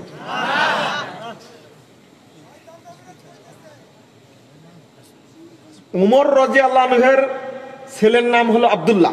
কি? আব্দুল রাজি আল্লাহ তার ছেলের নাম হলো কি? বিলাল। মনে থাকবে? তাহলে বেলাল কে হচ্ছেন? ওই বেলাল রাজি আল্লাহ না কিন্তু। উমর রাজি কি? নাতি। শুনে নেবার ও বেলাল রদি আল্লাহ ইবনু ওমর অর্থাৎ আব্দুল্লাহ রদি আল্লাহ তিনি বলছেন, আমি আল রাসুলকে বলতে শুনেছি, লা তামনাউ নিসাআকুম ইদা ইস্তাযান্নাল মাসাজিদ। যদি মহিলারা মসজিদে গিয়ে সালাত পড়তে চায়, তাহলে তুমি তাদেরকে বাধা দিও না। আমাদের দেশের কিছু কিছু আলেম বলে আল হাদিসরা মসজিদে মহিলাদেরকে নিয়ে যায় ভোগ করার জন্য। আল্লাহকে হেদায়েত দান করুক। আমি বলি, মসজিদে হারামে তুমি যাও, বউকে উমরা করাতে, হজ করাতে, সালাত কোথায় পড়ে তারা? মক্কা মসজিদে, নববীতে মসজিদে হারামে সালাত হয় না মহিলাদের? তুমি কি ওখানে ভোগ করার জন্য যাও? একে রজম করার দরকার। এত বড় জঘন্য ফতুয়া দেয়। হাদিসের বিরুদ্ধে কথা বললে কেন? হ্যাঁ এই সময় আবদুল্লাহর ছেলে রদি আল্লাহর ছেলে, কি? বিলাল রদি আল্লাহ তিনি বলছেন না, এখন মসজিদে দিব না, আমি বাধা দিব তাদেরকে। এই কথা বলা মাত্রই ইবনে ওমর রদি আল্লাহ তিনি ফকদ্দামা এলাইহি তাকে মারার জন্য এগিয়ে গেলেন সাব্বান এবং তাকে কড়া ভাষায় গালি দিলেন। দিয়ে বলছেন, ও খুব বেরুক আমি আল্লাহ রাসূলের কাছ থেকে হাদিস বর্ণনা করছি, আর তুমি বলছো বাধা দিব।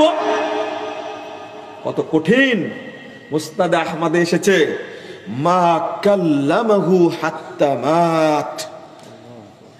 ইবনু ওমর রদি আল্লাহ আনহ মরা পর্যন্ত তার ছেলে বেলালের সাথে আর কোনোদিন কথা বলেননি। আপনি চিন্তা করেন তারা সোননাথকে কত দাম দিতেন। আমাদের দাম দেওয়া তো দূরের কথা। হ্যাঁ দাঁড়িটা আজ পর্যন্ত ছাড়তে পারেনি। কেউ তো প্রতিদিন সকাল একবার চাষি, বিকেল একবার চাষি। অফিস করে যায় বউকে সন্তুষ্ট করতে যায় আর কেউ কেউ হুজুর নামের দাড়িটা একবার মুড়া করে রাখে একবার হ্যাঁ? দাড়ি এমন করে কাটিং করে রাখে, মনে হয় স্কেল ধরে কাটছে। হ্যাঁ? সরমও লাগে না, লজ্জাও লাগে না। এরা জীবন দিবে কি করে? ওমর রাজিয়াল্লাহকে বলেছিলেন, সুন্নাতের প্রতি মহব্বত কাকে বলে?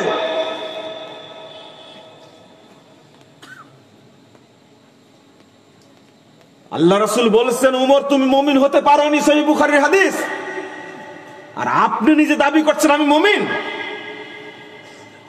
না। সুন্নাতকে পরতে পরতে সব জায়গায় বাস্তবায়ন করতে হবে, তবেই প্রমাণিত হবে আপনি রসুল সাল্লাহ উম্মত।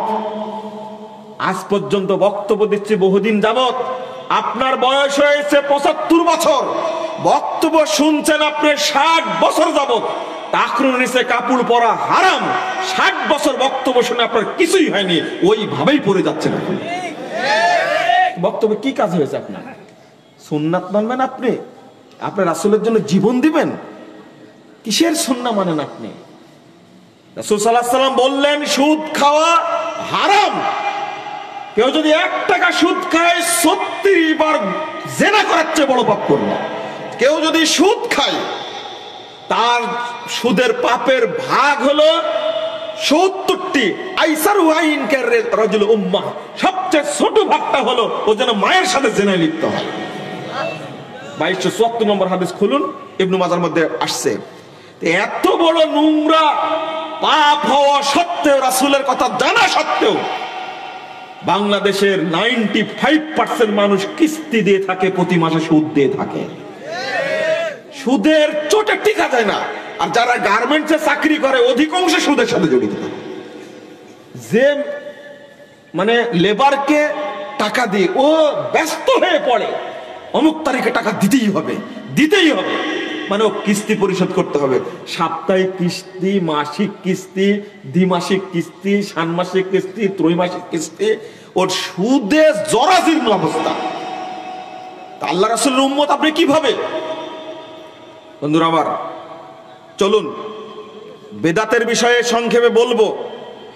আসলে আজকে বেদাতের উপরে টিকে থাকার জন্য আর বেদাতি বক্তাদের আলোচনা শোনার কারণে সমাজটা বেদাতে সারখার হয়ে গেছে। হুজুরের সুর ভালো? হুজুরের সুর ভালো। এই জন্য বক্তব্য শুনতে যেতে হবে তার কাছে, তাই না? শুধু বেদাতি না আমি এটা পার্থক্য করে দিই। আমি মাসিকাল এখলাসের মধ্যে লিখতে আসি, মানুষকে বোঝানোর চেষ্টা করছি। যদি খালি বুঝতে পারেন কারও মানহাজে ত্রুটি আছে, মাঝহাব না কিন্তু, কিসে? মানহাজ। ভাষাটা বলেন তো কি? মানহাজ। সবাই বলেন, মানহাজ। মানহাজ, এই ভাষাটা কোনো বলবেন না। এর অর্থ হলো প্রশস্ত পথ, নীতি। অর্থাৎ এটা হলো সিরাতে মুস্তাকিম। এটা কি? জান্নাতের পথ, এই মানহাজ। এইটা যদি কারও ত্রুটি থাকে, ও যদি মানহাজ পরিষ্কার না করে, ওর বই পড়া যাবে না, ওর বক্তব্য শোনা যাবে না, ওর মজলিসে যাওয়া যাবে না, ওর সাথে মানে দিনই কোনো আচরণ করা যাবে না। দুনিয়াবি স্বাভাবিক আচরণ বজায় রাখবেন, কিন্তু তার মজলিসে বসা যাবে না। ইবনু মা ইবনু আব্বাস রাদিয়াল্লাহু বলছেন আপনি বেদাতের সাথে সঙ্গ দিবেন কেমনে? নাউজুবিল্লাহ, আস্তাগফিরুল্লাহ। বেদাতিকে চিনেননি আপনি? বলছেন, ইন্না আশরাতিস সাহ আইয়ুল তামাসাল ইলমু ইনদাল আসাগির। 602 নম্বর হাদিস মধ্যে এসেছে। সাল্লাম বলছেন, কিয়ামতের আলামত, কিয়ামতের যত আলামত আছে তার মধ্যে একটা আলামত হলো যখন দেখবে মানুষ বেদাতিদের কাছ থেকে এলেম গ্রহণ করছে, তাদের কাছ থেকে মানে দিন গ্রহণ করছে, তখন বুঝবা যে কিয়ামত খুব তাড়াতাড়ি চলে আসবে, নাউজুবিল্লাহ। ইবনু মাসুদ রাদিয়াল্লাহু বলছেন, আগে এইগুলো শোনায় আপনাদেরকে। ইবনু মাসুদ রাদিয়াল্লাহু বলছেন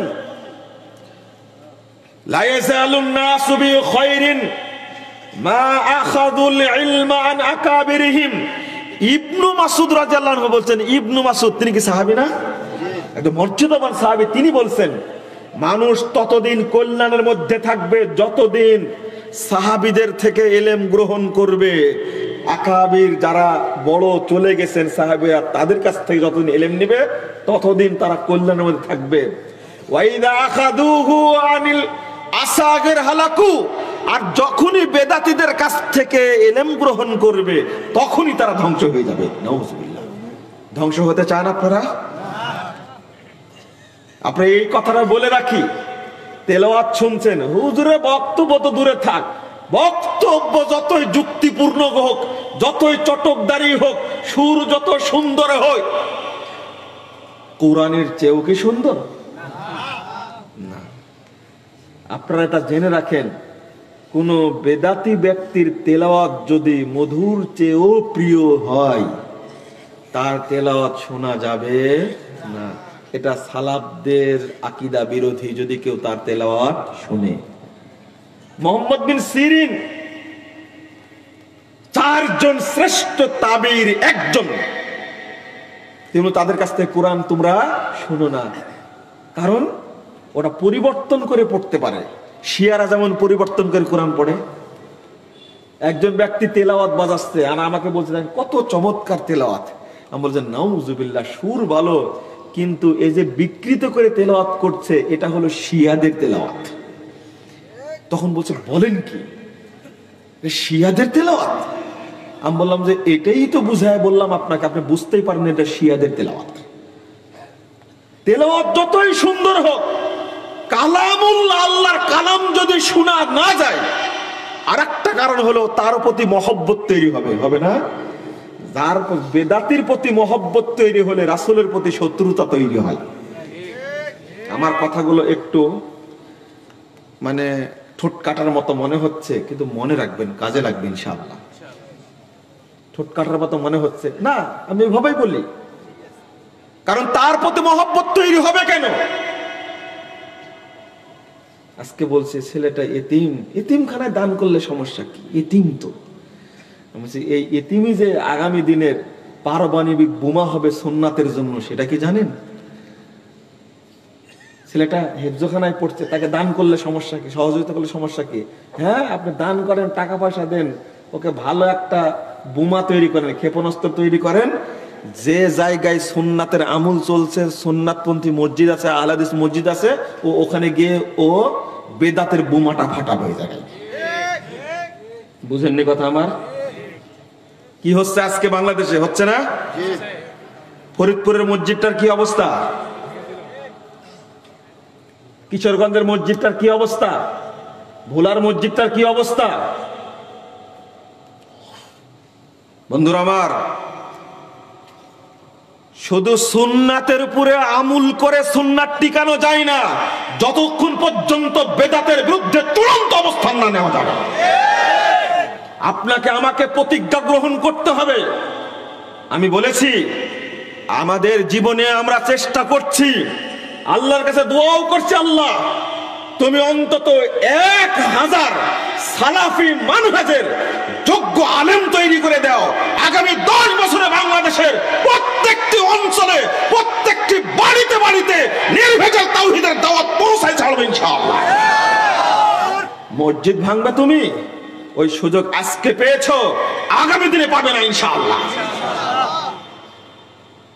আমরা স্পষ্ট ভাষায় কথা বলি, কারও লেজর ব্যক্তি করি না। এখানে অনেক কথা সালাফিগণ কখনো শিরিকের সঙ্গে করে না বেদাতের সঙ্গে করে না। মাজার পূজা খানকা পূজা কবর পূজা আকবর, এগুলো সব বড় শিরিক। মাছ পূজা শিরিক কচ্ছপ পূজা শিরিক, পাথর পূজা শিরিক, গাছ পূজা শিরিক, তেনা পূজা শিরিক, এগুলো হলো শিরকে আকবর। এগুলো দান করা, মূর্তি পূজা শিরিক, ভাস্কর্য করার শিরিক, স্পষ্ট ভাষায় আহলাদিসরা কথা বলে থাকে। অনুরূপ ভাবে বেদাতের বিরুদ্ধেও স্পষ্ট ভাষায় কথা বলতে আহলাদিসরা কোন মুনাফিকের এখানে কোনো সুযোগ তুমি আহলে হাদিস মসজিদের বিরুদ্ধে কথা বলো, কি করে? আমি কথাটা বলতে গিয়ে এখানে চলে আসছি। মান হাতে একটু ত্রুটি থাকলে সহ্য করতে পারি না। একজন খুব নাকি ইউটিউবে লাফালাফি করে, বক্তব্য দেয়। ভোলার ফরিদপুরের মসজিদ ভাঙলো, নিজে লেখছে, এইটা মসজিদ ছিল কিনা তা নিশ্চিত নয়। তুমি কি চাচ্ছ মাদ্রাসা ভেঙে দেওয়া যাবে? তুমি মুখোশ ধরে তুমি তুমি ভান ধরে আছো তুমি। এ ধরনের কথা বললে কেন? তাহলে বুঝা যাচ্ছে মাদ্রাসা ভাঙ্গা কি? জায়েজ, নাকি? মসজিদ ছিল না, তাই মাদ্রাসা ভেঙে দিয়েছে। তুমি ভিডিওতে দেখো নি ওখানে একটা মেম্বার পড়ে আছে কি জন্যে? দুই বছর যাবত ওখানে খুতবা হয়। তুমি বললে কেন এই কথা? এখনও মিডিয়ার সামনে তওবা করনি কেন তুমি? এবার চিনেছেন? আর একজন আর একজন লেখছে, আমার কাছে হোয়াটসঅ্যাপে পাঠাইছে। বলছে যে, এই মাঝাবি ভাইদেরকে ধন্যবাদ। মাঝাবি ভাইদেরকে ধন্যবাদ। কিছু লেস কাটা সৈয়াকিদার লোক আছে, এদের বদলতে আমরা চিনতে পারলাম। এই মন্তব্যটা কি ভালো মন্তব্য? লেখলে কেন এটা তুমি? পরিষ্কার কথা বলতে পারো না কেন? উচিত ছিল বাইতুল মুকাররম থেকে এর প্রতিবাদ আসা। এসেছে? প্রতিটি মসজিদ থেকে প্রতিবাদ আসার কথা ছিল। আমি সহ্য করতে পারি না। আহলে হাদিসরা সমাজ সংস্কার করে থাকে। মারামারি করে এরা, দ্বন্দ্ব করে। বাংলাদেশে কোথাও রেকর্ড নাই যে কোন হাদিস মসজিদ থেকে কোন হানাফি মাসাবের কোন ভাইকে বের করে দেওয়া হয়েছে। কোন রেকর্ড যদি কেউ প্রমাণ দিতে পারে, আমি আর জীবনে কোনোদিন মানুষের সামনে বক্তব্য দেবো না, ইনশাআল্লাহ। তুমি দেখাও দেখি। আবার বলছে আহলাদিস মসজিদ নাম দিছে কেন?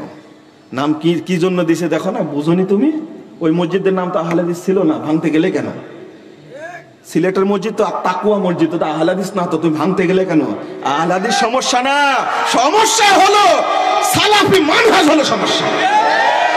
তোমরা জানো, সালাফি মানহাজের বিস্তৃতি যদি বাংলাদেশে ঘটে, আগামী দশ বছরে মাজার পূজা করে করে লোক পাওয়া যাবে না, ইনশাআল্লাহ। ওই চরিত্রের কারণে তো পৃষ্টি বন্ধ করেছ। বন্ধ করে লাভ হয়নি।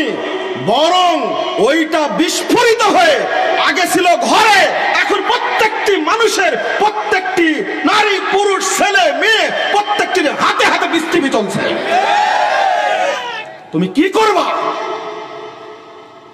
খবরদার, যদিও এই বক্তব্য দেওয়ার সময় এখন নয়। কিন্তু তুমি আহলাদিস মসজিদ ভাঙবে, আর আমি তোমাকে বিড়ালের মতো আদর করব। এটা হতে পারে না। তোবা করো। বাংলাদেশে এই নজির যেন কোথাও আর না ঘটে। বাহাস করতে যেতে হয়। হ্যাঁ বাহাসে বসো বাহাসে বসবে ইনশাআল্লাহ। প্রশাসনের আয়ত্তে বাহাসে বসো। বাহাসে গিয়ে মাস্তানি করো কেন? সন্ত্রাসী ভালো করে নিয়ে যাও কেন? আহলে হাদিস আহলে হাদিসরা সংখ্যায় কম। এই জন্য জবর দখল করে মঞ্চ দখল করবে। রায় নিজের পক্ষে নিয়ে যাবে। শয়তানের মতো কারবার কেন তোমার মধ্যে? সন্ত্রাসীগিরি করে কেন? প্রশাসন দুই দিকে থাকবে। মনে রাখবে যতই ঝাঁকুনি দেবে ততই সুগন্ধি বের হবে ইনশাআল্লাহ। আমি আপনাদেরকে বলব শুধু আপনাদের না বন্ধুরা আমার দেশের বাহিরে যে সমস্ত ভাইরা থাকে তাদের রক্ত ঘামানো টাকা অংশ থেকে বাংলাদেশের বিভিন্ন জায়গায় মসজিদ তৈরি করে দিচ্ছে আলহামদুলিল্লাহ। তারা খেটে খায়, মসজিদ তৈরি করে দেয়, কত পরিশ্রমের টাকা দেয়। বাড়িতে এসে মসজিদ তৈরি করে, সেই মসজিদ তোমাকে তালা দিতে হবে, সেই মসজিদ ভেঙ্গে দিতে হবে। কি অন্যায় করে যে ভেঙ্গে দিয়েছে ভাই। ভিডিও দেখে আমি কেঁদে অস্থির কান্না থামাতে পারেনি। আল্লাহ এটা কি তোমার ঘর। যেভাবে তারা ভেঙ্গেছে যেভাবে কেটেছে, তসনস করেছে, কোরআন, বুখারি তারপরে মর্যাদাবান কিতাবগুলো যেভাবে ছিল, ছেলেগুলো পালিয়ে গেছে মানে মানে জঙ্গল দিয়ে পালিয়ে প্রাণ বাঁচিয়েছে। আল্লাহ, এরা কি মানুষ? মুসলমান তো দূরের কথা, এরা মানুষের কাতারেই পড়ে না তোমার ঘর এইভাবে নষ্ট করে দিছে, জ্বালিয়ে দিল, পুড়িয়ে দিল। আমার অন্তরে কি আঘাত লাগবে না? আমি কথা বলব না কেন?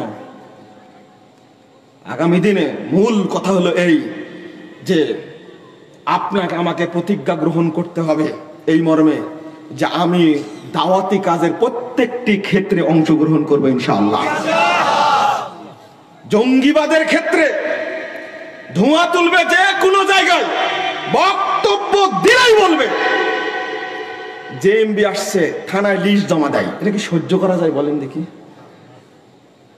যেখানেই দুই, চারজন, পাঁচজন, দশজন বিশ জন ছেলে হয়েছে, সেখানে কত চমৎকার মুখে দাঁড়িয়ে মেডিকেলে পড়ছে ইঞ্জিনিয়ারিং বিশ্ববিদ্যালয়ে পড়ছে, ঢাকা বিশ্ববিদ্যালয়ে পড়ছে, অথচ কোনোদিন দাড়িটা কাটেনি। পাঁচ শক্ত সালাত মসজিদে পড়ে, বাবা মার খেদমত করে, এত সুন্দর, স্বচ্ছ ছেলের নাম জেএমবি বলে দিয়ে দিয়েছেন। কেন তাকে দেখা যায় না? হ্যাঁ এখন আলহামদুলিল্লাহ, প্রশাসন তদন্ত করা শিখেছে। এক হুজুরকে ডেকে বলেছে, জেএমবি মূলত এরা না, আসলে বদমাস আপনি। কারণ আমরা তদন্ত করে দেখেছি। কেন? এটা দেশকে বিভ্রান্ত করা, এটা হলো রাষ্ট্রীয় সন্ত্রাসিতা যারা জেএমবি তাদেরকে গ্রেফতার করা হোক, তাদের শাস্তি দেওয়া হোক, তারা উসমান রাজিয়াল্লাহু যারা হত্যা করেছে তাদের বংশধর। যারা আলীকে হত্যা করেছে জেএমবি তাদের বংশধর। আমাদের বক্তব্য স্পষ্ট।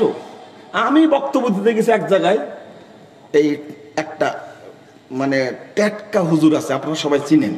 ও থানায় গিয়ে মামলা দিয়ে দিছে, যে বলে অভিযোগ, মামলা তো অভিযোগ, এ হলো জেএমবি আরে ব্যাকুব,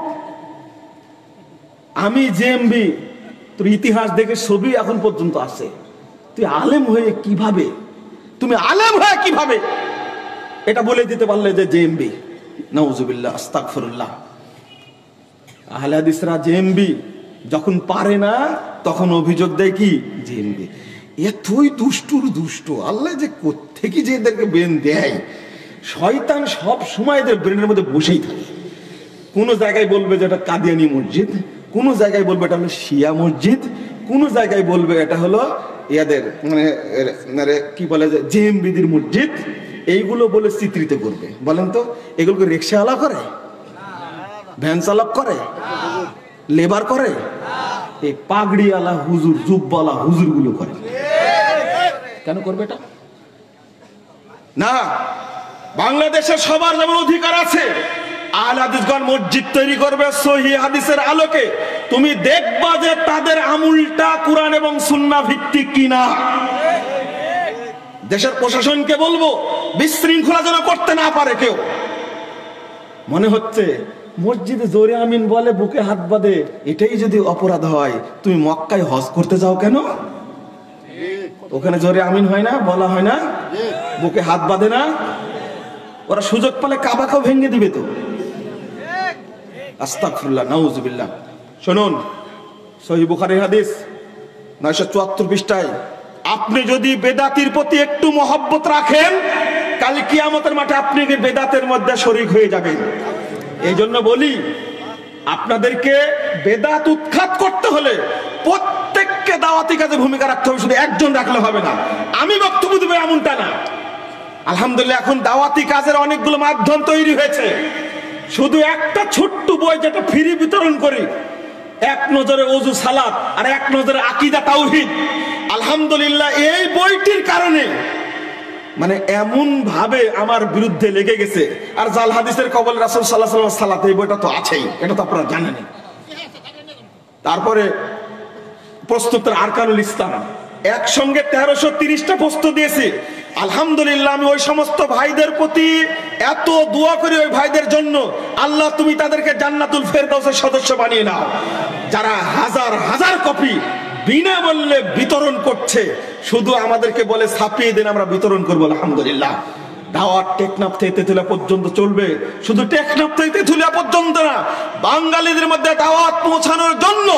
আলহামদুলিল্লাহ বহু মানুষ এই বইগুলো বহন করে নিয়ে যাচ্ছে আমেরিকায়, নিয়ে যাচ্ছে লন্ডনে, নিয়ে যাচ্ছে অস্ট্রেলিয়ায়, নিয়ে যাচ্ছে কানাডায়। আলহামদুলিল্লাহ, তোমরা ঠেকাবে কোন দিক থেকে? থেকে শুধু দরকার আমাদের কি? আন্তরিকতা। আমি বলছিলাম, বেদাতের সাথে আমাদের কোনো আপোষ নেই। ইবনু আব্বাস বলছেন, লা তোমরা বেদাতীদের সাথে বসো না। কেন?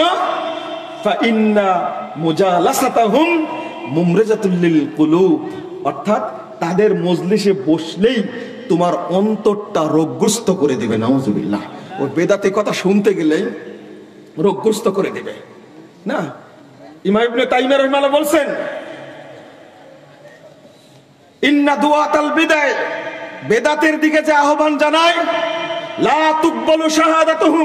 সাক্ষ্য গ্রহণযোগ্য নয়। তাদের পিছনে সালাত জায়েজ নয় তারপরে বলছেন, ওয়ালা ইউখাদুল ইলমু। তাদের কাছ থেকে এলেম গ্রহণ করা যাবে না। তারপরে বলছে না ইউনাকাহুন। তাদের সাথে বিবাহ দেওয়া যাবে না।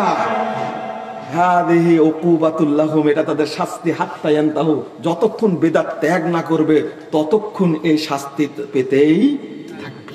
কথা বুঝতে পারছেন স্পষ্ট ভাবে এত কওল আছে। বেদাতের সম্পর্কে আমার অন্য জায়গায় বক্তব্য আছে। আপনারা বক্তব্য শুনে নেবেন। বন্ধুরা আমার আপনাদের প্রতি অনুরোধ থাকবে একটা বিষয়, সেটা হলো এখন সুন্নাতকে আঁকড়ে ধরার যুগ, বেদাতকে বর্জন করার যুগ। সুন্নাতকে আঁকড়ে ধরতে গিয়ে যদি মামলার শিকার হন, যদি অপমানের শিকার হন, যদি লাঞ্ছনার শিকার হন, তাহলে কি সুন্নাত মানা বাদ দিবেন? না! রাসূলুল্লাহ সাল্লাল্লাহু আলাইহি ওয়াসাল্লাম বলছেন 10494 নম্বর হাদিস 394 নম্বর হাদিস কাবিরের মধ্যে এসেছে আল্লাহ বলছেন, তোমাদের পরে আসবে একটি ধৈর্যের যুগ। ওই যুগে কেউ সুন্নাতকে ধরে রাখতে পারবে না। লিল মুতামাসসিকে ফিহি, যে ব্যক্তি ওই যুগে সুন্নাতকে শক্ত করে ধরে রাখবে, ফালাহু ওই ব্যক্তির জন্য 50 জন শহীদের মর্যাদা রয়েছে। আল্লাহ ওমর রাজন বলছেন রাসুল, আমিন না মিনহুম এই 50 জন শহীদ কি আমাদের যুগের না তাদের যুগের? আল্লাহ রাসুল বলছেন, লা বাল মিনকুম, আরে তোমাদের যুগের শহীদ হওয়া 50 জন শহীদের মর্যাদা লাভ করবে। আমাকে জেএমবি বলুক, আমার উপরে মামলা দিক, আমার উপর অত্যাচার করুক, আমাকে দৈহিক ভাবে শারীরিক ভাবে লাঞ্ছিত করা হোক, আমার উপর মারপিট করা হোক, যারা সুন্নাত মানার কারণে রাসূলের জীবনের রাসুলের অনুসরণ করার কারণ অপমানিত হয়েছেন, জান্নাতে আমি তাদের সাথে থাকব ইনশাআল্লাহ। রাসুল সাল্লাল্লাহু আলাইহি বলছেন লিল্লাহ যে ব্যক্তি আল্লাহর জন্য অপমানিত হয়, আল্লাহ তার মর্যাদাকে বৃদ্ধি করে দেন। অতএব সুন্নাতকে ছাড়তে রাজি নয়। যে সুন্নাত মেনে সাহেব সাহাবাকরাম জান্নাতের পথে চলেছেন, ওই সুন্নাতি কোরআন হাদিসের মধ্যে আছে। আমিও ওই সুন্না মেনে রাসূল আলাইহি সাল্লাম এবং সাহেব সাহাবাকরামের সাথে জান্নাতে থাকতে চাই। আর হাদিসদেরকে ভয় দেখে কোনো লাভ নেই, কারণ এই পথ বহু আগে অতিক্রম করেছে, আলহামদুলিল্লাহ। আপনাদের অনুরোধ করব, সুন্নাতকে প্রচার করুন, বেদাত সম্পর্কে মানুষকে সচেতন করুন। ইনশাল্লাহ এই দেশের মানুষ এক সময় এই বেদাত এবং শিরিক বর্জন করবে এবং তাওহিদ এবং সুন্নাকে গ্রহণ করবে। এই দেশটা একদিন কোরআন এবং সহি হাদিসের দেশ হিসাবে আল্লাহ কবুল করবেন ইনশাআল্লাহ। আল্লাহ তুমি আমাদেরকে কবুল করো। আল্লাহ আমিন। বন্ধুরা, আমার কথা আমার শেষ। আপনাদের শেষে আহ্বান জানাব। আমাদের যে বইগুলো আছে, পত্রিকাগুলো আছে, বিশেষ করে প্রস্তুতের আরকানুল ইসলাম, জাল হাদিসের কবল রাসুল সাল্লাম সালাত, এই বইটা। এইগুলো আপনারা মঞ্চ থেকে নিয়ে যাওয়ার চেষ্টা করবেন। আর একটা বিষয় আপনাদের জানাচ্ছি, সেটা হলো, আমার ইচ্ছার কথা বলেছি, রাজশাহীতে দারুল হুদা ইসলামী কমপ্লেক্স। এই কমপ্লেক্সের বিষয়ে আপনাদের বলতে চাচ্ছি, আমরা দক্ষ আলেম তৈরি করার মার্কাজ হিসাবে সেটাকে প্রতিষ্ঠা করার চেষ্টা করছি। আপনারা দোয়া করবেন, আল্লাহ যেন কবুল করেন। আল্লাহ আমিন। আর একটা শেষে আবেদন করব আপনাদেরকে, এই যে মাদ্রাসা চকপাড়া খানপাড়ি সালাফে মাদ্রাসা ইতিমখানা এই দায়িত্ব আপনাদের। আপনারা এই দায়িত্ব পালন করবেন এটাকে সুন্দরভাবে পরিচালনা করার।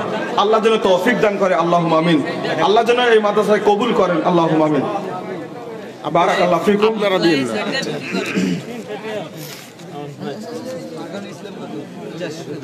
পেটে বাচ্চা মারা গেলে উপকৃত হবে?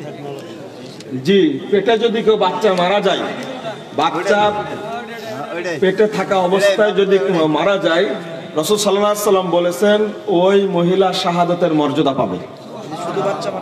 আর একটা হলো যদি বাচ্চা মারা যায় আল্লাহ আকবার। হাদিসে আসছে তার মাকে আর একটা হাদিস আছে পিতা মাতা উভয়কে নারীর সাথে পেঁচিয়ে জান্নাতে নিয়ে যাবে। আমরা মাসিকাল এখলাসে এর উপর একটা ধৈর্য ধারণের ফজিলত এই মর্মে আমি একটা বক্তব্য আছে লেখনীয় আছে।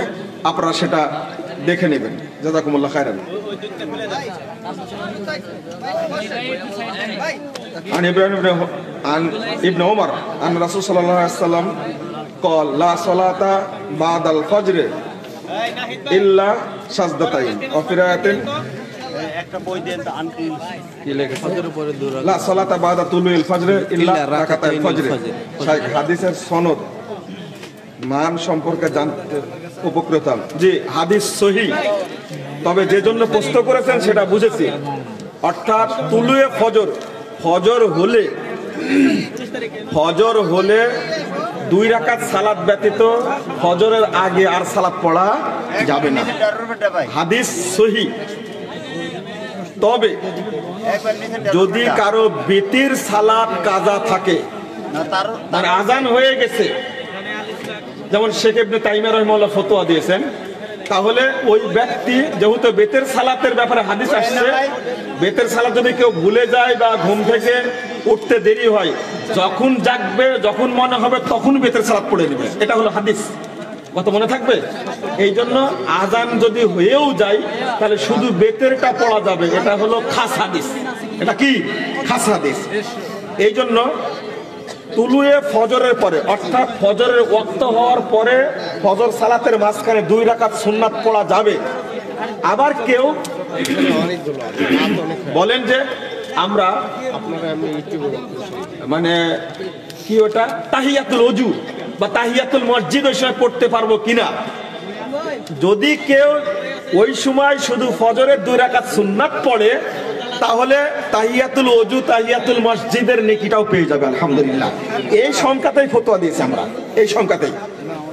এটা একটা ব্যাপার। আর একটা জিনিস যে ফজরের সালাতের পরে আর সালাত নাই, যতক্ষণ পর্যন্ত সূর্য উদিত না হবে। এই হাদিস সহি। এই জন্য অধিকাংশ ভাই ফজর সালাত পড়াকাল জামাত হয়ে যাচ্ছে। কিন্তু সুন্নাত পিছনে পড়তেই আছে। এইটা কিন্তু ঠিক না। বরং আপনি জামাতে শরিক হবেন। লা সলাতা ইদা উকিমাতিস সলা, লা সলাতা ইল্লাল মাকতুবা। যদি একামত হয়ে যায়, ফরজ সালাত ছাড়া কোনো সালাত পড়া যাবে না। যদি কেউ আগে সুন্নাত পড়তে না পারে, তাহলে ফজরের দুই রাকাত ফরজ পড়ে সাথে সাথে সুন্নাত পড়ে নিতে পারবে। আবু দাউদে হাদিস আসছে আটশো সাতষট্টি নম্বর হাদিস। আপনি ওই হাদিসের আগে সাথে সাথে পড়ে নিতে পারবেন। তবে আপনি সূর্য উঠার পরেও সুন্নাত পড়ে নিতে পারবেন কাজা সুন্নাতটা। এরও হাদিস এসেছে। কিন্তু ফজরের আগে জামাত চলাকালীন আপনি সুন্নাত পড়বেন, এটা চলবে মসজিদ দেয় আর মসজিদ নবীর ঘর। উক্ত কথা কি ঠিক? না, এই কথা ঠিক না।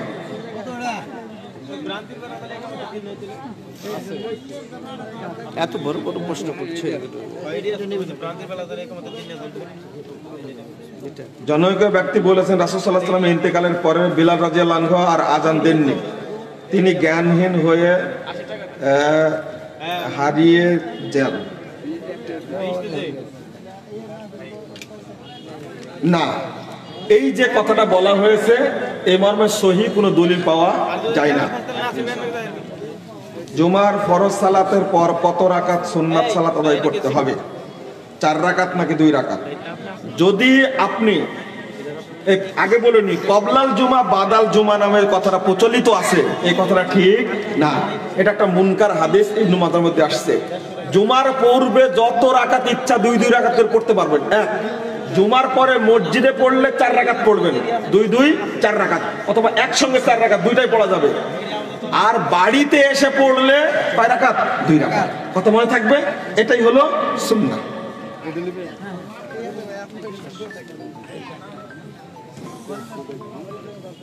কোন মুসলিম ইসলাম গ্রহণ করলে কোনো মুসলিম ইসলাম গ্রহণ করলে পূর্বে পূর্বে যদি সে রাষ্ট্রের অথবা কোনো ব্যক্তির অর্থ সম্পদ আত্মসাৎ করে, থাকে, তাহলে তার সে গুনাহ ক্ষমা হবে কি?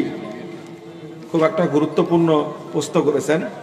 হাদিস যেটা, হাদিস থেকে যেটা বোঝা যায় হ্যাঁ সেটা হলো, ইসলাম গ্রহণ করলে পূর্বের সব পাপই ক্ষমা হয়ে যাবে, সব পাপ ক্ষমা হয়ে যাবে, এটাই। আল ইসলাম ইয়াহদিমু কানা কবলা যা পূর্বে করেছে সবই কি আল্লাহ ক্ষমা করে দেবেন মাফ করে দিবেন কারণ তখন তার দিনই জ্ঞান ছিল না। এরপর থেকে যদি কেউ এমনটা করে তাহলে কি হবে তার? পাপ হবে। তার জবাব দিতে হবে।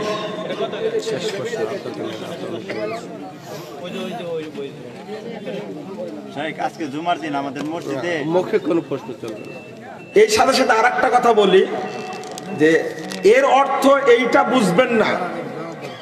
যে অমুসলিমদের সম্পদ আত্মসাৎ করা যাবে, তাদের সম্পদ দখল করে নিজে ভোগ দখল করবেন, এইটা মুসলিম হিসাবে আবার বড় অন্যায় কিন্তু কথা বোঝা গেছে?